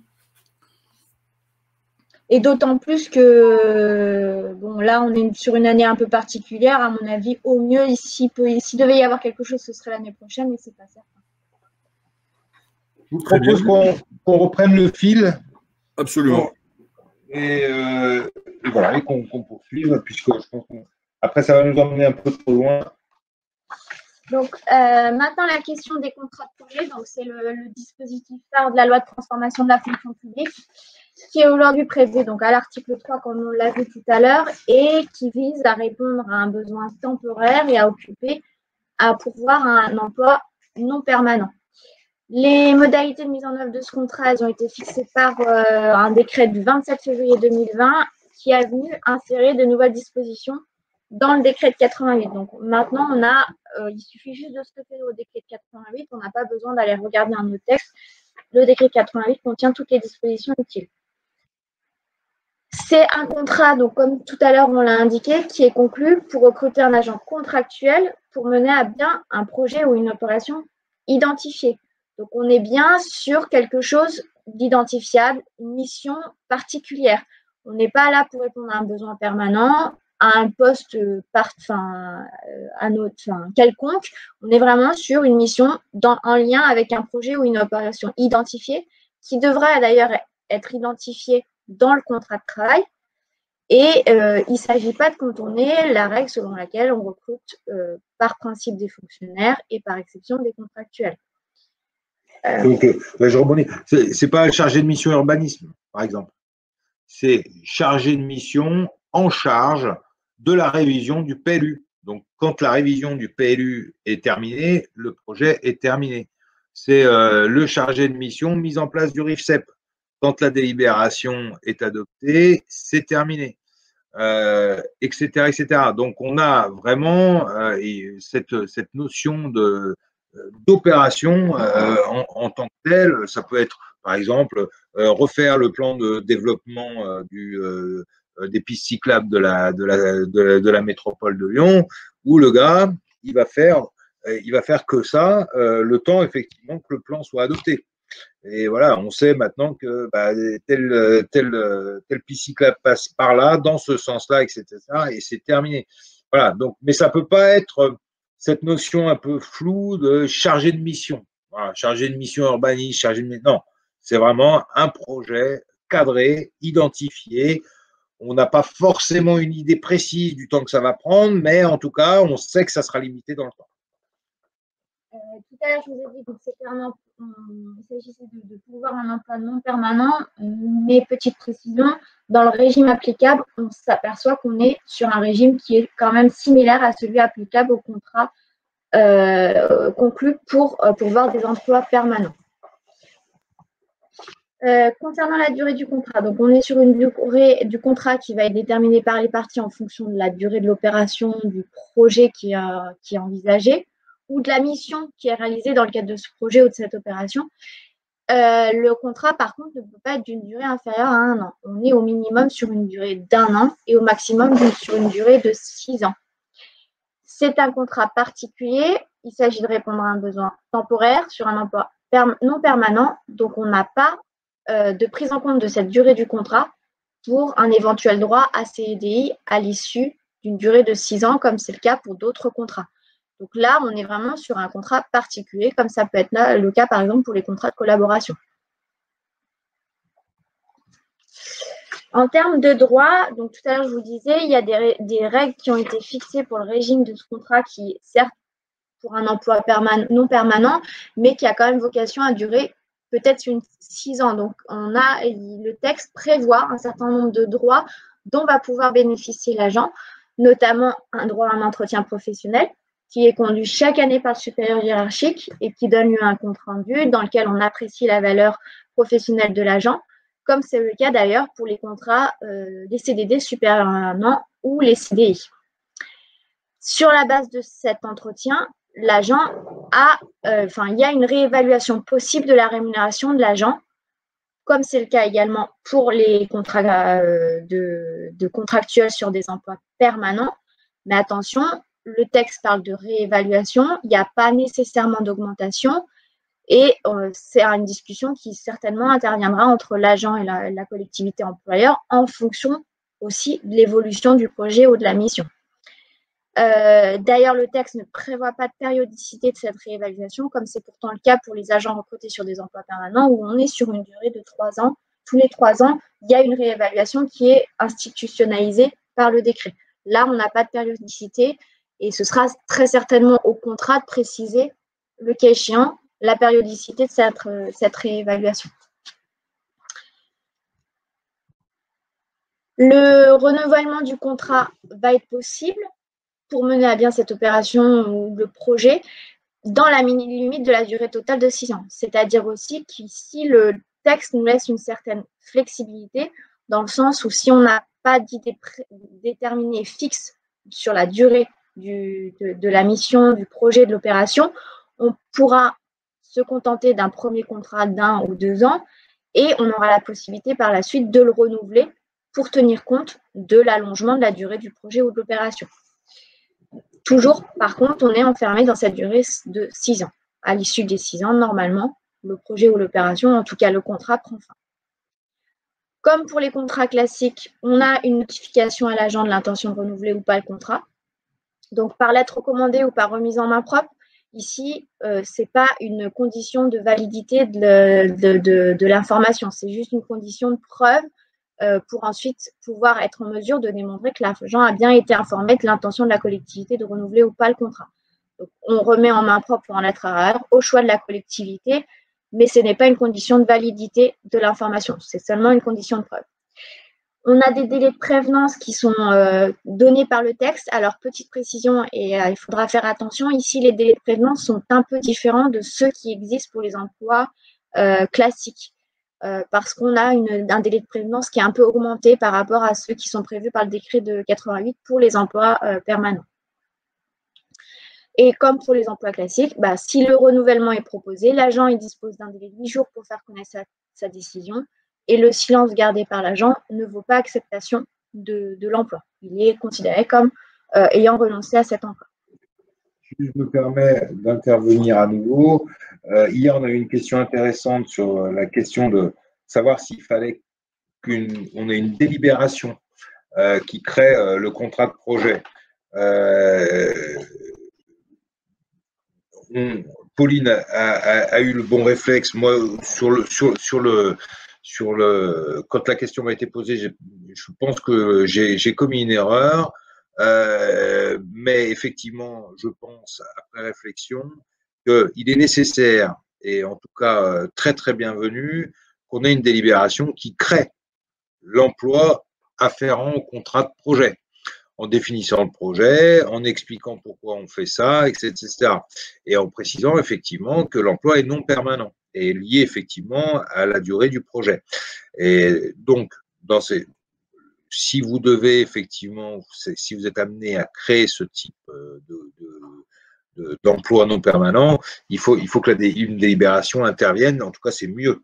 Ça cadre bien les choses. Voilà, je referme cette parenthèse. Euh, ensuite, euh, il faut aussi informer l'agent de la sanction contrat.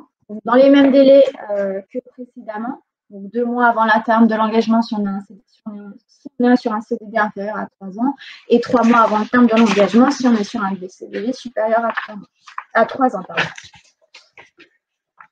Les ruptures anticipées du contrat, elles sont également possibles. Euh, donc là, on est sur l'hypothèse où on va mettre fin au contrat avant le terme qui est prévu dans le contrat. On a les hypothèses classiques qui sont également ouvertes pour les contrats de projet. Donc, on est sur la démission, le licenciement pour faute disciplinaire, le licenciement pour insuffisance professionnelle ou pour une aptitude physique, la transformation du besoin ou de l'emploi qui a justifié le recrutement lorsque l'adaptation de l'agent aux nouveaux besoins n'est pas possible. On a aussi le refus par l'agent d'une modification d'un élément substantiel du contrat qui est proposé donc, dans les conditions prévues par le décret de 88. Donc attention, là, on est bien sûr des modifications d'un élément substantiel du type quantité de temps de travail, lieu de travail, fonction de l'agent, euh, sous réserve que ça reste compatible avec sa qualification professionnelle de l'agent. Et enfin, on a aussi la possibilité, l'impossibilité de réemploi de l'agent à l'issue d'un congé sans rémunération pour raison de santé. Euh, il y a d'autres hypothèses qui sont prévues et qui sont spécifiques cette fois au contrat de projet. Euh, le pouvoir réglementaire a effectivement pris le soin d'envisager l'hypothèse où eh ben, finalement le projet ou l'opération ne peut pas se réaliser ou le projet ou l'opération euh, atteint son résultat avant l'échéance du contrat. dans cette hypothèse-là, on peut même fin de manière anticipée au contrat de projet. Mais il y a deux conditions à respecter. La première, c'est que le contrat ne peut pas être pas prendre fin avant l'expiration d'un délai d'un an. Donc là, ça renvoie aussi à la règle selon laquelle le contrat de projet est nécessairement d'une durée minimale d'un an. Donc même si le projet ou l'opération est abandonné au bout, de six mois, on est censé maintenir l'agent, euh, enfin le contrat de l'agent. Après, qu'est-ce qu'on fait de l'agent? Est-ce qu'on lui trouve une nouvelle affectation? Est-ce qu'on continue juste à le payer et à avoir un contrat qui court? Le texte ne le précise pas. L'autre condition, c'est d'informer l'agent et de respecter un délai de préavis euh, pour euh, mettre fin au contrat. Donc là, ce délai de préavis, c'est le même que précédemment pour les renouvellements et la fin de contrat. Deux mois si on est sur un CDD inférieur à trois ans et trois mois si on est sur un CDD supérieur à trois ans.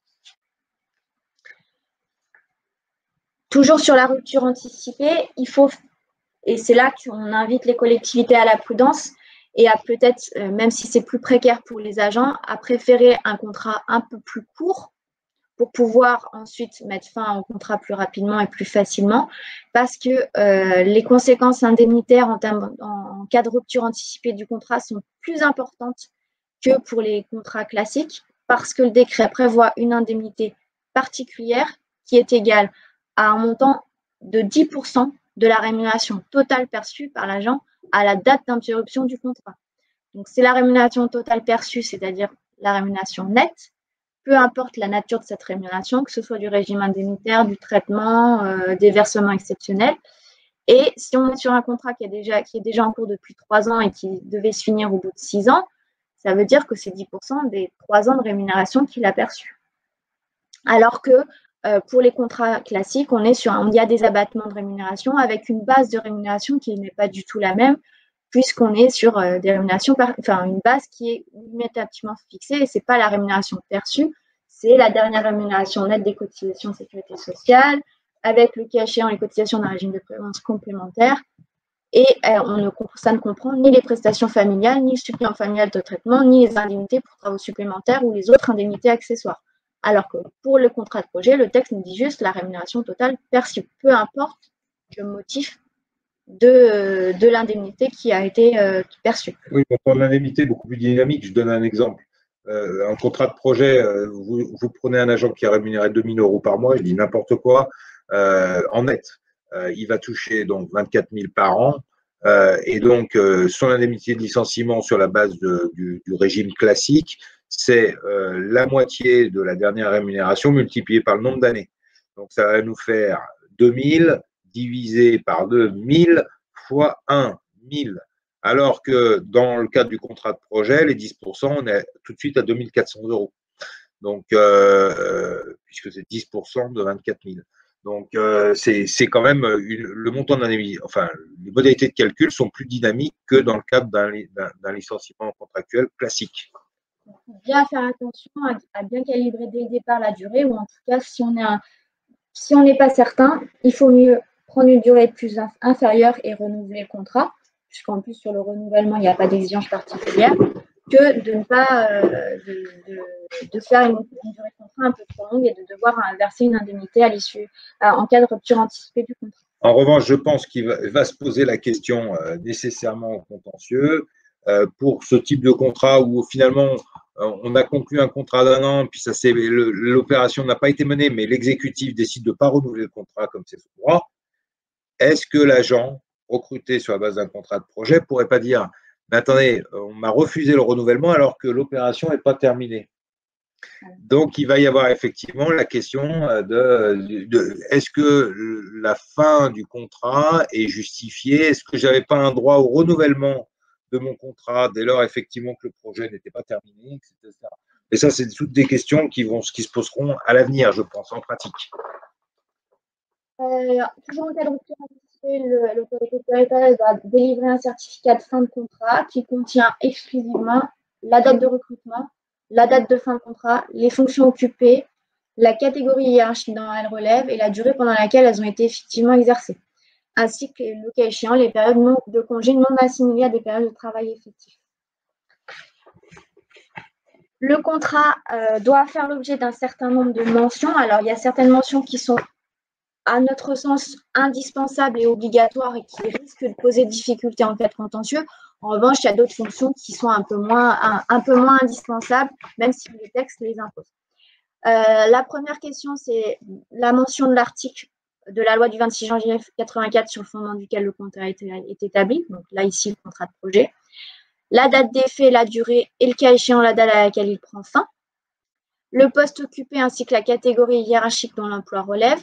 Les conditions d'emploi et de rémunération et les droits et obligations de l'agent donc là, c'est l'occasion de lui rappeler qu'il est soumis au statut général et aux obligations déontologiques, notamment en matière de dignité, de probité et de cumul d'activités. Et puis, il y a la question de la description du projet ou de l'opération et sa durée prévisible.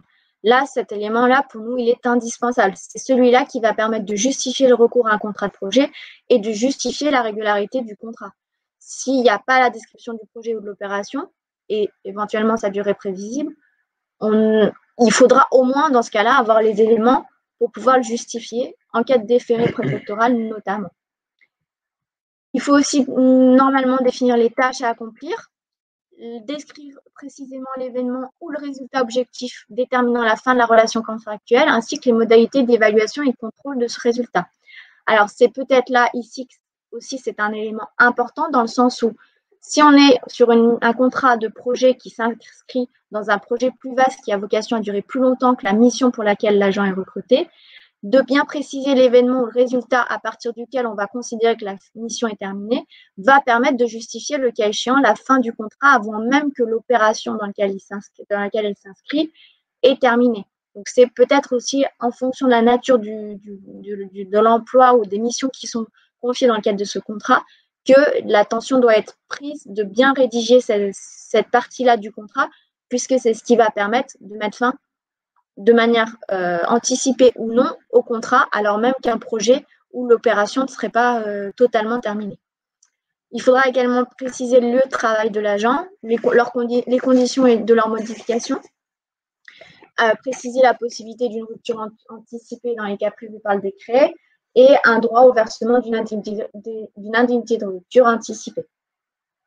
Oui, j'insiste sur, surtout sur, si d'aventure vous êtes confronté à, la problématique de la rédaction de ce type de contrat, sur, je pense que le point le plus, le plus important, c'est la description euh, des tâches à accomplir dans le cadre effectivement du projet qui doit être mené.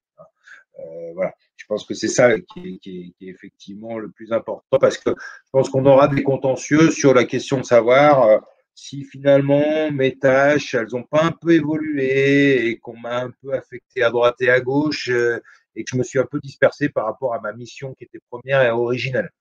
Euh, voilà. Donc là-dessus, je, pense qu'il y a une vraie vigilance à avoir sur la description des tâches dans le cadre d'un contrat de projet.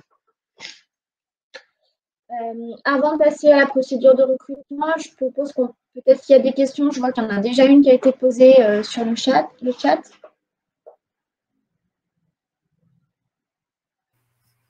Alors, il y a effectivement la question de Madame Delpech de la communauté de communes du Midi corésien. J'invite Madame Delpech à activer son micro et à poser la question elle-même parce que si je comprends bien, il s'agit de la problématique de de l'enchaînement entre un CDD déjà en place et un éventuel contrat de projet qui pourrait être créé. Est-ce que ça pose un problème à l'issue du contrat en place de créer un, un contrat de projet et d'affecter le même agent sur ce contrat de projet, si j'ai bien compris. Euh, Madame Delpech, euh, allez-y, activez votre micro, s'il vous plaît. Oui, merci. Oui, c'est exactement ça. Euh, nous avons recruté il y a, enfin, ça fera trois ans à la fin de l'année là, un agent sur un poste hum, de mission chargé de mission en urbanisme, aménagement et habitat. Euh, cet agent devait réaliser le PLUI euh, au niveau de notre collectivité. Euh, cette mission n'est pas terminée, elle avait été recrutée en contrat. On n'avait que la possibilité à l'époque, enfin on avait créé cet emploi permanent et pour renouveler son contrat en fin d'année, on voulait savoir si on pouvait ne pas le renouveler, mais partir sur un contrat de projet en redéterminant bien les missions précises. Alors, moi, je, pense que oui, c'est possible, mais attention, qui dit contrat de projet ne dit pas liberté de recrutement euh, de l'agent qui est actuellement en passe. Donc, dans tous les cas, ça veut dire qu'on va le voir, vous allez devoir mettre en place une procédure de recrutement. Et ça veut dire aussi que si vous passez en contrat de projet et que si par chance, vous pouvez recruter la même personne qui est actuellement en poste, à l'issue de ce contrat de projet, elle ne pourra pas prétendre à un CDI derrière si vous renouvelez son engagement et que vous pouvez à nouveau la recruter. On sera sur trois ans sur un emploi permanent, mais trois ans sur un emploi de contrat de projet. Donc derrière, pas de droit à CDI. Donc après, ça dépend si effectivement au bout de trois ans, vous estimez que finalement, enfin déjà, est-ce qu'on est bien sur un projet, une opération? Est-ce qu'on est bien sur un, on est, est-ce qu'on est bien dans le cadre du contrat de projet? Et est-ce que au bout de trois ans, ce sera terminé et que vous n'aurez plus besoin de cet agent finalement? Oui, euh, mais on a la même problématique. De toute façon, pour renouveler son contrat, il faut qu'on, ah si on le fait sur emploi permanent, euh, on, va, le refaire. Il va falloir faire une procédure euh, de recrutement ouverte avec possibilité de recruter un fonctionnaire si on a des candidats fonctionnaires. Non, mais il n'y a pas d'obstacle sur le principe si vous respectez les, formes. Et d'ailleurs, je pense que c'est même ça, ça correspond parfaitement, euh, les grands esprits se rencontrent, hein, ce qu'on s'est dit tout à l'heure, c'est euh, le PLU, euh, PLUI, pour moi, effectivement, ça, vous êtes bien dans le, dans le, dans le, dans le cadre d'un contrat de projet, et, c'est d'ailleurs plus conforme à la réalité que l'emploi permanent, puisqu'en définitive, vous savez qu'un jour ou l'autre, ça, va, ça va s'arrêter. Après, ce que disait Pauline, c'est que on est obligé de toute façon quand même de, mettre en place une procédure de recrutement, mais euh, visiblement, si ça s'est bien passé pendant trois ans, euh, que l'agent connaît le territoire, etc., il a quand même tous les atouts dans sa poche pour, euh, pour remporter la course. et je pense que honnêtement, concrètement, ça ne devrait pas poser trop de difficultés quand même. Hein. D'accord, merci. C'est sûr que si vous êtes sur, un contrat, une procédure de contrat projet, ce sera plus facile de le recruter, de le maintenir en poste que si vous êtes sur une procédure emploi permanent, puisque là, vous avez potentiellement des fonctionnaires qui vont postuler et normalement, s'ils ont bon le profil, vous êtes obligé de les recruter. Et le mieux, ça serait de supprimer carrément l'emploi initial qu'il occupe actuellement pour dire au final, euh, ce qu'on a besoin, c'est un emploi euh, pour répondre, pour finaliser cette opération, etc. D'accord, merci. Avec plaisir. Alors, je, salue la présence parmi nous de Valérie Chauvac je, et je la prie de m'excuser parce que je n'avais pas euh, bien remarqué que dans la, la trentaine de participants, euh, elle était présente. Bonjour Valérie. Euh, et sa question rejoint tout à fait la problématique qu'on vient d'évoquer avec une observation par rapport à la déclaration de vacances d'emploi. Valérie, si, si, vous voulez bien activer votre, votre micro et poser la question. Oui, bonjour, vous m'entendez? Oui, oui, parfaitement. Voilà. Oui, moi je voulais juste apporter euh, euh cette, cette, observation parce qu'elle n'est pas évidente à mon sens au départ puisqu'on est sur des emplois euh, non permanents. Mais pour y avoir travaillé là un petit peu, au final le décret sur sur les contractuels renvoie au décret 2019 14 14 et au chapitre premier disposition générale et donc fait référence à toute la procédure, y compris la DVE, ce qui n'est pas eu, enfin à mon sens une évidence au départ. Et je ne sais pas ce que vous en pensez, mais voilà, je voulais apporter cette observation. Bah, on va le voir et effectivement, c'est pour ça aussi qu'à un moment, je vous l'ai dit, c'est qu'on est sur un emploi permanent, non permanent, pardon, avec un besoin temporaire, mais finalement, le régime qui est applicable, alors à la fois dans les droits de l'agent, mais à la fois aussi dans les obligations de la collectivité dans le cadre de la procédure, qui va ressembler davantage au régime applicable aux contractuels recrutés sur emploi permanent, avec effectivement cette, cette obligation de faire une déclaration de la vacance ou de la publicité de la vacance pour, mm. euh, pour informer tous les candidats potentiels mm. de, cette, de la création de cet emploi ou en fait la vacance de cet emploi et de la possibilité de candidater. Tout à fait. Et du coup, je vous rejoins complètement sur la nécessité qu'il y ait une délibération pour créer euh, le contrat de projet. Oui, c'est plus. Moi, pour moi, ça, va de soi, mais euh, oui, en toute hypothèse, c'est mieux. C'est plus, plus mm, carré. Très bien. Y a-t-il euh, d'autres questions sur ces aspects? Ou est-ce qu'on poursuit la, présentation? Je ne vois pas d'autres questions pour l'instant euh, par l'intermédiaire du chat. Vous avez tout à fait la possibilité de le faire si vous vous signalez.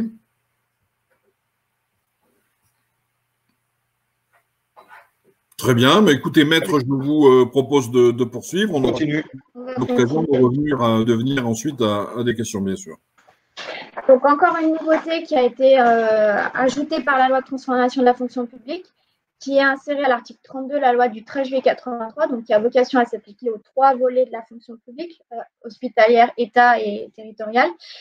Euh, auparavant, l'article 32 se bornait à indiquer que les agents contractuels sont recrutés après appréciation de leur capacité à exercer les fonctions à pourvoir. Désormais, l'article 32 ajoute qu'une procédure de recrutement permettant de garantir l'égal accès aux emplois publics doit être mise en place et être fixée par décret en Conseil d'État. Alors, il y a néanmoins des exceptions qui sont prévues, et c'est notamment pour les emplois de direction, et plus particulièrement les emplois de directeur général des services, des régions, des départements et des communes et des EPCI à fiscalité propre de plus de 40 000 habitants. Mais en dehors de ces hypothèses-là, normalement, il y a une procédure qui doit être effectuée pour le recrutement des agents contractuels sur les emplois permanents. Euh, donc le décret, c'est le décret de 2019 pour, euh, pour la procédure classique de recrutement sur emploi permanent. On a eu aussi des modifications, des, ajouts qui ont été apportés par le décret du 27 février 2020 sur le contrat de projet, précis, ce décret vient préciser euh, ce qui est applicable au contrat de projet. On a également des modifications qui sont intervenues par le décret du 13 mars 2020 sur les recrutements directs dans les emplois de direction. Et toutes ces informations-là sont contenues dans le décret de 88 et plus précisément dans les articles 2 et 2-2 et suivants du, décret de 88. Donc ici, euh, on a fait le choix de se concentrer uniquement sur les recrutements destinés à pouvoir des emplois permanents, donc les emplois classiques, les recrutements effectués pour mener à bien un projet ou une opération identifiée, et les recrutements directs effectués en application de l'article 47 pardon, pour pouvoir les emplois autres que ceux de directeur général des services mentionnés au 1 et 2, donc autres que ceux de directeur général des communes EPCI à fiscalité propre de plus de 40 000 habitants et des départements et des régions. Donc ici, on est sur les emplois DGA et de DGST des départements, des régions, des communes de plus de 40 000 habitants, des EPCI de plus de 40 000 habitants et des euh, directeurs des établissements dont les caractéristiques euh, et l'importance justifient qu'on ait un recrutement direct. Donc, ici, ne sont pas concernés les recrutements destinés à répondre à un besoin. Il y a un, un accroissement temporaire ou saisonnier d'activité parce que pour ces cas-là, on n'a pas de procédure à respecter. On est sur la liberté du recrutement, donc il n'y a pas de procédure à mettre en œuvre, il n'y a pas de publicité notamment à, à, engager sur l'ouverture des postes et ne sont pas non plus euh, concernés donc les recrutements pour les emplois de DGS des départements, des régions et des communes et EPCI de plus de 40 000 habitants. Parce que pour ces recrutements encore, à nouveau, c'est une liberté de l'autorité territoriale qui n'a pas à suivre une procédure particulière, notamment en termes de publicité et de transparence de la procédure de recrutement. Alors, sur la procédure, on a, fait le choix de, présenter les procédures de manière un peu comparative pour que vous puissiez ensuite voir les différences et avoir plus une attention qui est portée sur euh, les choses à ne pas oublier ou à ne pas faire sur, certaines procédures. La première chose, ben, comme pour les emplois classiques, il faut assurer la publicité de la vacance ou de la création d'emplois auprès du centre de gestion.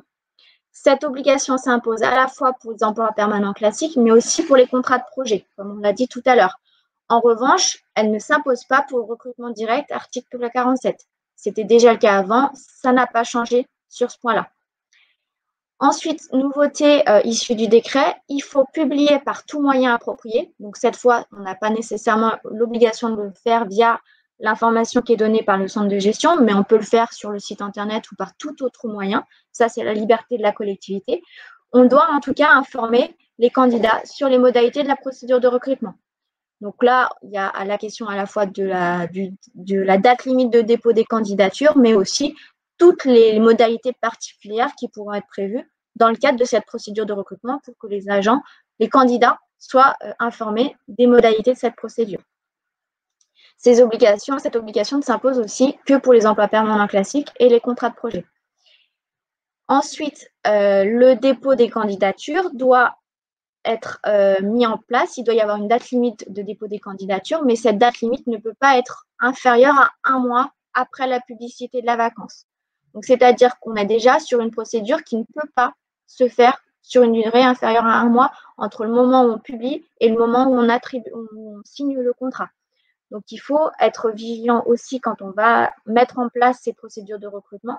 C'est que désormais, on a des délais qui sont incompressibles et qui vont devoir être respectés au risque de devoir se, faire sanctionner par le juge administratif en cas de contentieux. Et la seule hypothèse dans laquelle on pourrait réduire ce délai, c'est l'hypothèse d'une urgence. Mais là encore, le juge risque d'être assez vigilant pour apprécier les conditions euh, d'urgence qui sont invoquées par la collectivité pour justifier un dépôt inférieur à un mois. Après, juste, je, me permets euh, d'intervenir là-dessus, et c'est presque même sous forme de, question à Pauline. Euh, moi, je ne pense pas, en revanche, que ce délai incompressible d'un mois empêche forcément la collectivité d'avoir recours à un titulaire avant. Euh, c'est-à-dire que là, on est vraiment sur la régularité du recours à un agent contractuel, mais euh, le principe restant effectivement le recours à un agent titulaire. si bah, je trouve mon agent titulaire avant, mais Pauline a l'air un petit peu sceptique, mais je pose la question parce qu'elle me vient à l'instant. Euh, je pense pas néanmoins, effectivement, que ça nous oblige, en toute hypothèse, euh, y compris lorsque bah, j'ai trouvé ma perle rare euh, de, titulaire, en la personne d'un titulaire, d'avoir recours au titulaire avant l'expiration du délai d'un mois. Je, je, réserve néanmoins mon analyse là-dessus, mais je pose quand même la question qui va nécessairement se poser. Euh, moi, je serais un petit peu plus nuancée parce que même si on a, la procédure pour moi n'est pas faite aussi que pour enfin, limiter les cas de recours contractuels, elle est aussi faite pour garantir à tout candidat la possibilité d'accéder aux emplois publics et assurer une égalité aussi entre les fonctionnaires eux-mêmes et pas sans, nécessairement prendre en compte que les contractuels. Et je pense que là-dessus, il faudra quand même être vigilant parce que un, un candidat fonctionnaire qui remettrait sa candidature dans les délais, mais au bout du 28e jour et qui attendrait que finalement le contrat a déjà été signé, enfin le, le, recrutement a déjà été opéré au bout de 15 jours parce qu'un titulaire s'est présenté, ça risque, à mon avis, ça peut poser difficulté. Après, on restera sur un contrôle de l'appréciation des mérites de chacun des, des, des, candidats. Donc après, là, le juge, il fait un contrôle un peu plus restreint, surtout si, si on est sur deux fonctionnaires et qu'on compare juste deux fonctionnaires. Mais ça peut quand même poser problème en termes de respect du principe d'égalité et surtout du respect des modalités de la procédure de recrutement qu'on s'est imposée. Donc, je pense qu'il faudra quand même être vigilant là-dessus, euh, au moins sur, à ce stade-là. La question est donc posée. Ensuite, euh, nouvelle formalité imposée par, par, le, par les décrets, euh, les récents décrets, dès lors que les candidatures ont été déposées, elles doivent faire l'objet d'un accusé de réception. Donc, les candidats qui ont déposé une candidature doivent être informés que leurs candidatures ont bien été réceptionnées. Alors, le texte ne précise pas à quel moment cet accusé de réception doit intervenir. Est-ce qu'il doit intervenir dès la réception des candidatures ou est-ce qu'on peut faire un envoi groupé le lendemain du dépôt des candidatures? Là-dessus, je pense que c'est à la collectivité de voir en termes d'organisation interne ce qu'elle doit faire, ce qu'elle peut faire. Bon, après, ça peut peut-être être intéressant néanmoins de, prévoir un accusé de réception des réceptions de la candidature pour que si l'agent ne reçoit pas au bout de 3-4 jours d'accusé de réception, il puisse, le cas échéant, réadresser son, sa candidature avant l'expiration du délai de candidature. Euh, cette obligation de, réceptionner les candidatures s'applique cette fois aux trois types de recrutement, que ce soit sur un emploi permanent classique, un contrat de projet ou un recrutement direct, l'article 47. Autre que des GS euh, euh, des communes, départements, régions et EPCI à fiscalité propre. Ensuite, une fois que la, collectivité a accusé réception des candidatures, elle doit procéder à la vérification de la recevabilité de ces candidatures. Le texte n'est pas très précis sur ce qu'on entend par vérification de la recevabilité des candidatures.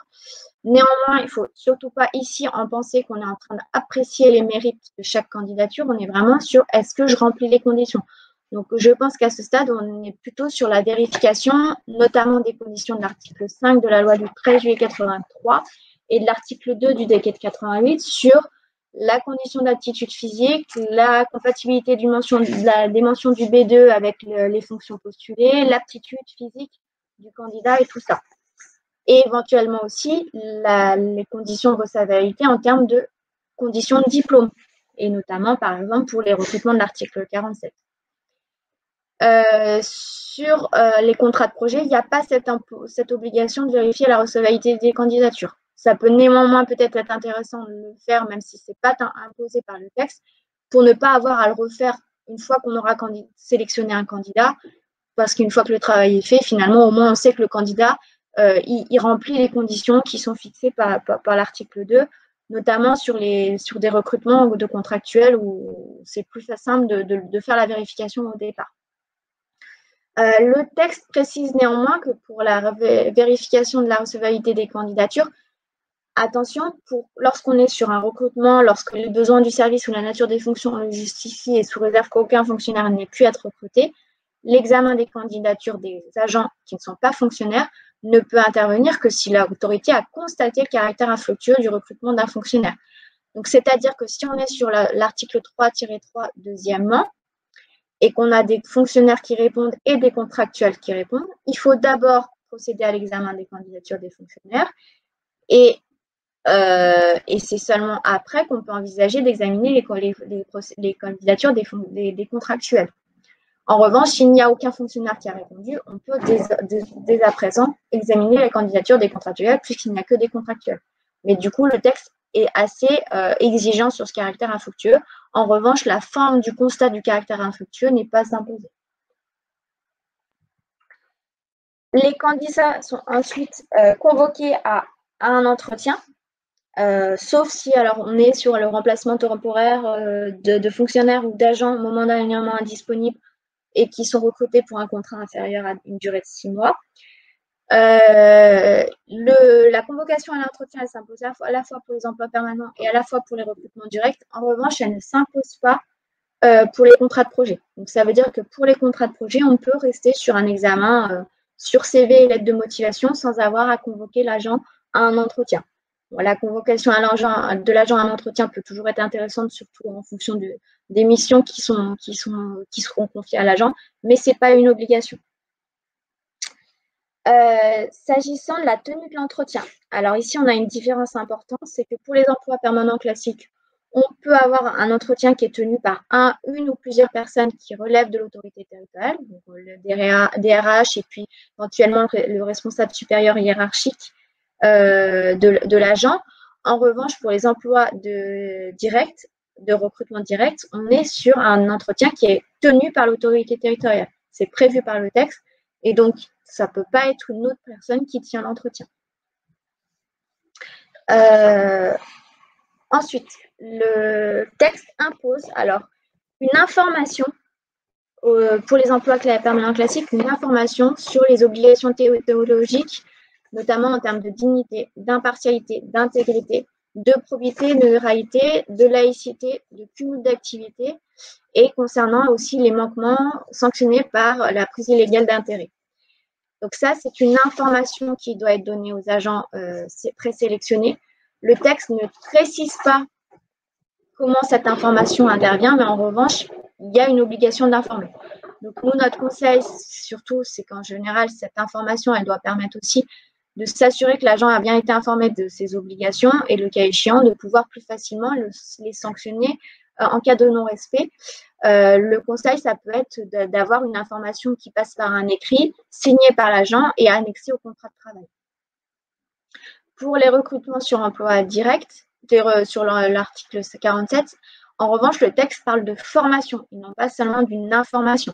Donc, les, emplois, les, agents qui sont recrutés sur le fondement de l'article 45 doivent recevoir une formation pour les préparer à leurs nouvelles fonctions en matière de déontologie et d'organisation du fonctionnement des services publics. Une fois que les entretiens euh, sont intervenus, il faut alors, s'agissant des emplois permanents classiques, établir un document qui précise les appréciations qui sont portées sur chaque candidat présélectionné, au regard de ses compétences, de ses aptitudes, de ses qualifications et expériences professionnelles, et de sa capacité à exercer les missions d'évoluer à l'emploi. Et ensuite, ce document doit être transmis à l'autorité territoriale. Donc, ça veut dire que là, on a une exigence particulière d'un écrit qui doit retracer finalement le résultat de cette procédure de recrutement. Donc, on ne peut pas se borner à sélectionner un candidat sur la base du CV et de l'entretien sans, garder une trace écrite des appréciations. Et il faudra être amené à bien justifier tel et tel choix de l'autorité territoriale.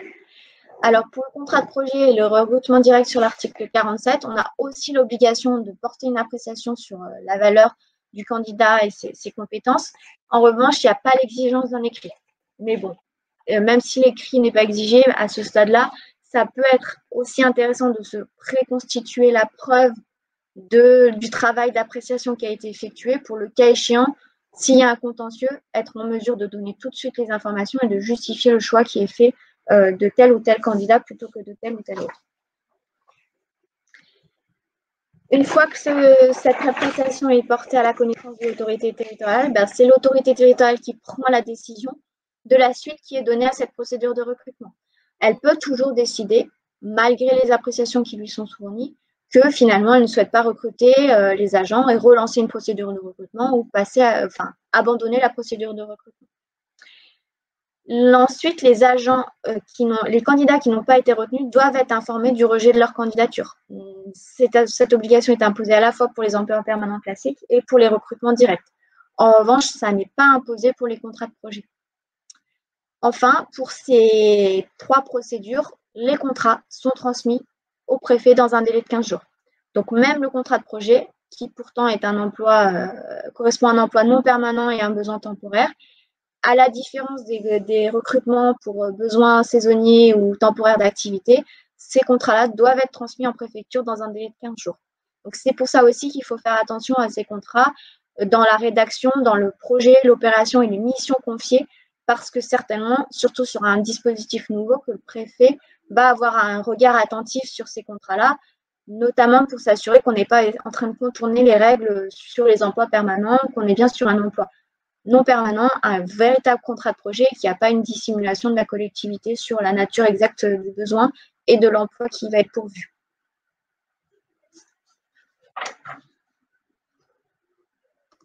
Alors, je ne sais pas s'il y a des questions sur, euh, les procédures qu'on vient de voir.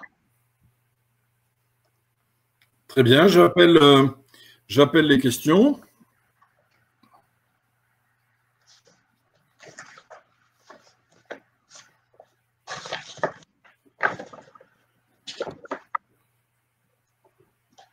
Moi, j'ai une remarque, peut-être en attendant que les questions arrivent.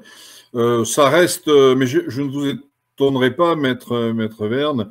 Ça reste absolument mystérieux et pour moi incompréhensible que, par exemple, pour le recrutement des DG de 40 000 et plus, euh, il ne soit pas nécessaire euh, de faire une DVE. Il euh, n'y a rien qui le justifie, je dirais, dans la tradition juridique de ce pays, puisqu'il s'agit de permettre simplement l'information de tout candidat potentiel euh, sauf pour des raisons inavouables, euh, qui sont celles que certains redoutent, c'est-à-dire que ça facilite le copinage. Et dans ce cas-là, on comprend très bien pourquoi il n'est pas prévu de faire de DVE dans ce cas-là. Hein. On n'a pas intérêt trop à faire savoir. Donc, euh, je, je, pense que ça aurait pu être du reste sur ce point très précis. de prévoir la nécessité, comme pour un recrutement de, de statutaire, de prévoir la nécessité d'une DVE, ça aurait pu être un point qui rassure. Euh, alors que là, euh, ça, fait même naître un angle mort. Euh, si, si, si le, l'exécutif décide de recruter un, contractuel, si j'ai bien suivi, hein, je parle sous votre contrôle, pas de DVE, mais s'il recrute un titulaire, il doit faire une DVE alors. Et dans ce cas-là, comment concilier la mixité des possibilités? Il faut pas de DVE si on n'est pas déterminé à l'avance? Quand on fait qu'on recrutera un contractuel ou quand on fait qu'on recrutera un, statutaire par la voie du détachement, par exemple alors déjà, euh, préciser une chose, c'est que euh, avant, avant la loi de transformation de la fonction publique, il n'y avait, avait déjà pas d'obligation quand vous procédez. Et, je le regrette, et je le regrette, on est d'accord. Recrutement article 47. Là aussi, il y a eu des tergiversations jurisprudentielles jusqu'au moment où le Conseil d'État a dit, euh, par exception à l'article 41, ça veut dire par exception à l'article 41. Donc c'est sans on peut recruter sans forcément que ce recrutement soit irrégulier parce qu'on n'a pas fait de déclaration de vacances. Après, euh, comprends parfaitement votre position, mais l'esprit aussi du truc, c'est comme c'est un recrutement direct qui est discrétionnaire parce que le choix n'est pas discutable euh, et que euh, alors après on est on est dans une dans une euh, dans un débat euh, idéologique donc je rentrerai pas dans ce débat mais euh, la compréhension du, système, c'est qu'à partir du moment où, de toute façon, on sait pertinemment que l'exécutif va choisir qui il veut, à quoi bon Et qu'il a déjà son candidat en tête, c'est même pas un candidat, il a déjà son homme euh, en tête, euh, et eh ben, euh, à quoi bon effectivement organiser une procédure qui, de toute façon, est biaisée d'emblée donc, euh, pourquoi faire miroiter Pourquoi euh, Voilà, c'est ça le truc. Euh, moi, j'ai sur, dans certains dossiers des présidents, notamment de conseils départementaux, ils, ils, expliquent quand même que quand ils arrivent au pouvoir et qu'ils deviennent exécutifs de, de, de, collectivités de cette importance, on appelle, il y a un appel du, pouvoir central, je dirais pas quelle époque et machin, etc., qui dit bon, j'ai quelqu'un pour toi au niveau de la direction générale des services. ça se passe comme ça. Euh, et c'est bien ça le problème à mon sens. Euh, assez souvent, les personnes euh, auxquelles quelqu'un quelque part dans un bureau à Paris a pensé sont assez mal préparées et, et, parfaitement euh, méconnaissante de, la, de ce qu'est la réalité territoriale. on est bien d'accord. Ça peut produire d'excellentes catastrophes. Mais euh, voilà, moi, j'ai invoqué simplement un principe qui me paraît assez classique de publiciter les candidatures. Après que les choses soient biaisées ou pas, euh, ça, peut même l'être avec un titulaire, du reste. Hein. Ça peut même l'être avec un titulaire. Donc, c'est une autre question que, au, moins, en tant que, autant que possible, au point de départ, les choses soient saines parce que l'information a eu lieu à chacun ensuite de défendre ses, intérêts. Puis il y a quand même pas mal d'exécutifs qui n'ont pas d'idées forcément préconçues. Hein. Ah, il, y en a, il, y en a, de plus en plus. Il m'est arrivé de travailler dans des collectivités que je ne connaissais ni d'Ève ni d'Adam euh, auparavant et pour lesquelles je crois avoir été recruté euh, sur ma présentation et, et pas sur d'autres aspects, euh, sur des postes donc de DG de 40 000. Bref, je ferme cette parenthèse. C'était aussi pour permettre aux uns et aux autres de se signaler. Euh, y a-t-il des, y a-t-il des questions euh, là-dessus? Enfin, sur les, aspects qu'on vient d'aborder, bien entendu, hein, de manière beaucoup plus large. Voilà, j'invite tous les participants à activer euh, leur possibilité de questions par le chat.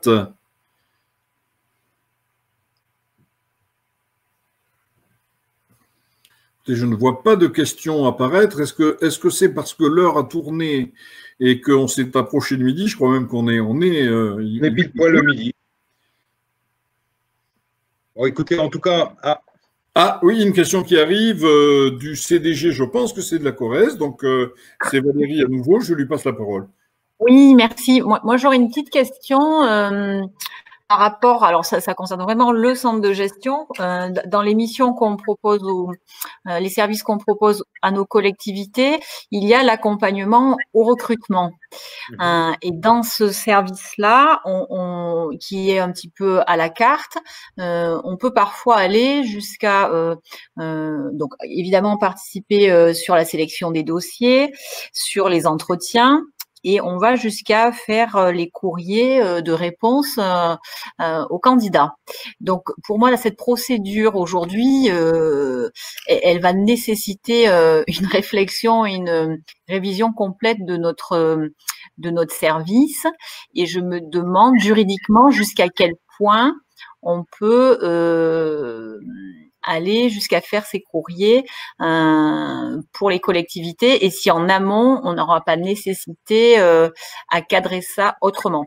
soyons concrets. Moi, je pense que rien ne vous empêchera d'établir la même mission, mais sauf que les courriers seront la signature de l'exécutif qui recrute.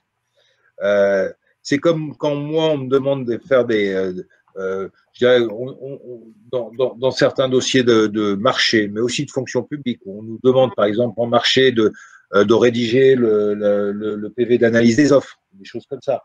Euh, quand on est en accompagnement, en AMO, bah on, prépare le truc, on le cadre juridiquement, et, ensuite, bah c'est l'exécutif qui signe. Donc ça, à mon sens, vous soyez presque comme dans une démarche de conseil classique. Euh, en étant non seulement force de proposition, force de conseil, mais également euh, pour veiller à ce que la rédaction soit exemple de vice. Mais au final, à partir du moment où c'est l'exécutif qui signe et qui reprend à son compte euh, tout ce qui a été dit dans les courriers que vous avez préparés à sa signature, euh, moi, ça ne me pose pas de problème insurmontable. Le choix reste celui de l'exécutif. Donc, euh, je pense que oui, il faut modifier la pratique. C'est-à-dire que ce n'est pas le centre de gestion qui peut euh, rejeter la candidature ou, euh, dire que ça, la candidature n'a pas été retenue, etc.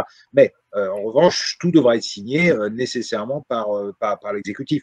Donc, je ne sais pas si ça doit révolutionner forcément vos pratiques en la matière.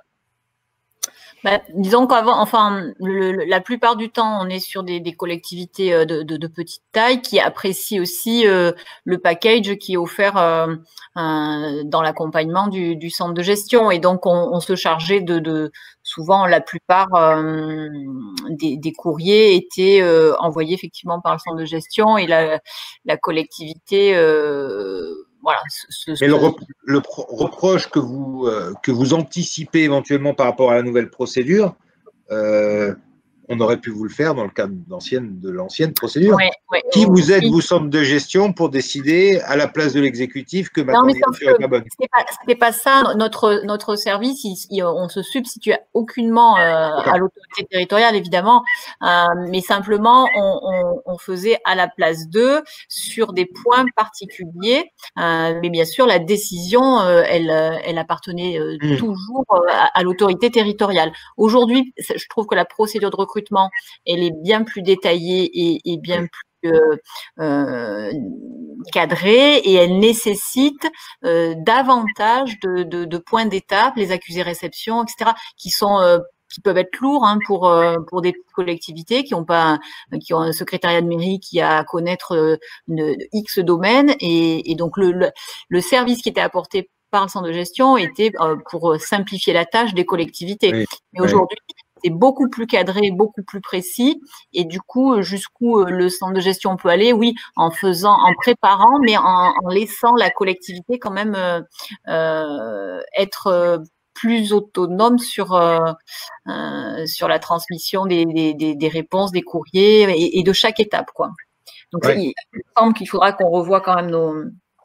Oui, il faut les adapter, mais je ne pense pas que ça, ça vous empêchera de continuer tout ce que vous faites aujourd'hui. Mais il faudra adapter effectivement vos pratiques. Oui, Ok, merci. J'espère que ça a été clair. Je voulais soulever une petite, une petite question sur l'aspect des délais, euh, pour, pour, voir si j'ai bien compris. Euh, nous étions habitués à, dire euh, que la collectivité, avant de, de, réaliser effectivement le recrutement, devait observer le respect d'un délai raisonnable, disait le juge. Euh, pour, euh, voilà, pour concrétiser le recrutement à partir de la publicité opérée au point de départ. Un mhm. délai raisonnable. Et c'était mystérieux parce que, euh, selon le juge, raisonnable n'avait pas toujours exactement la même durée. Hein.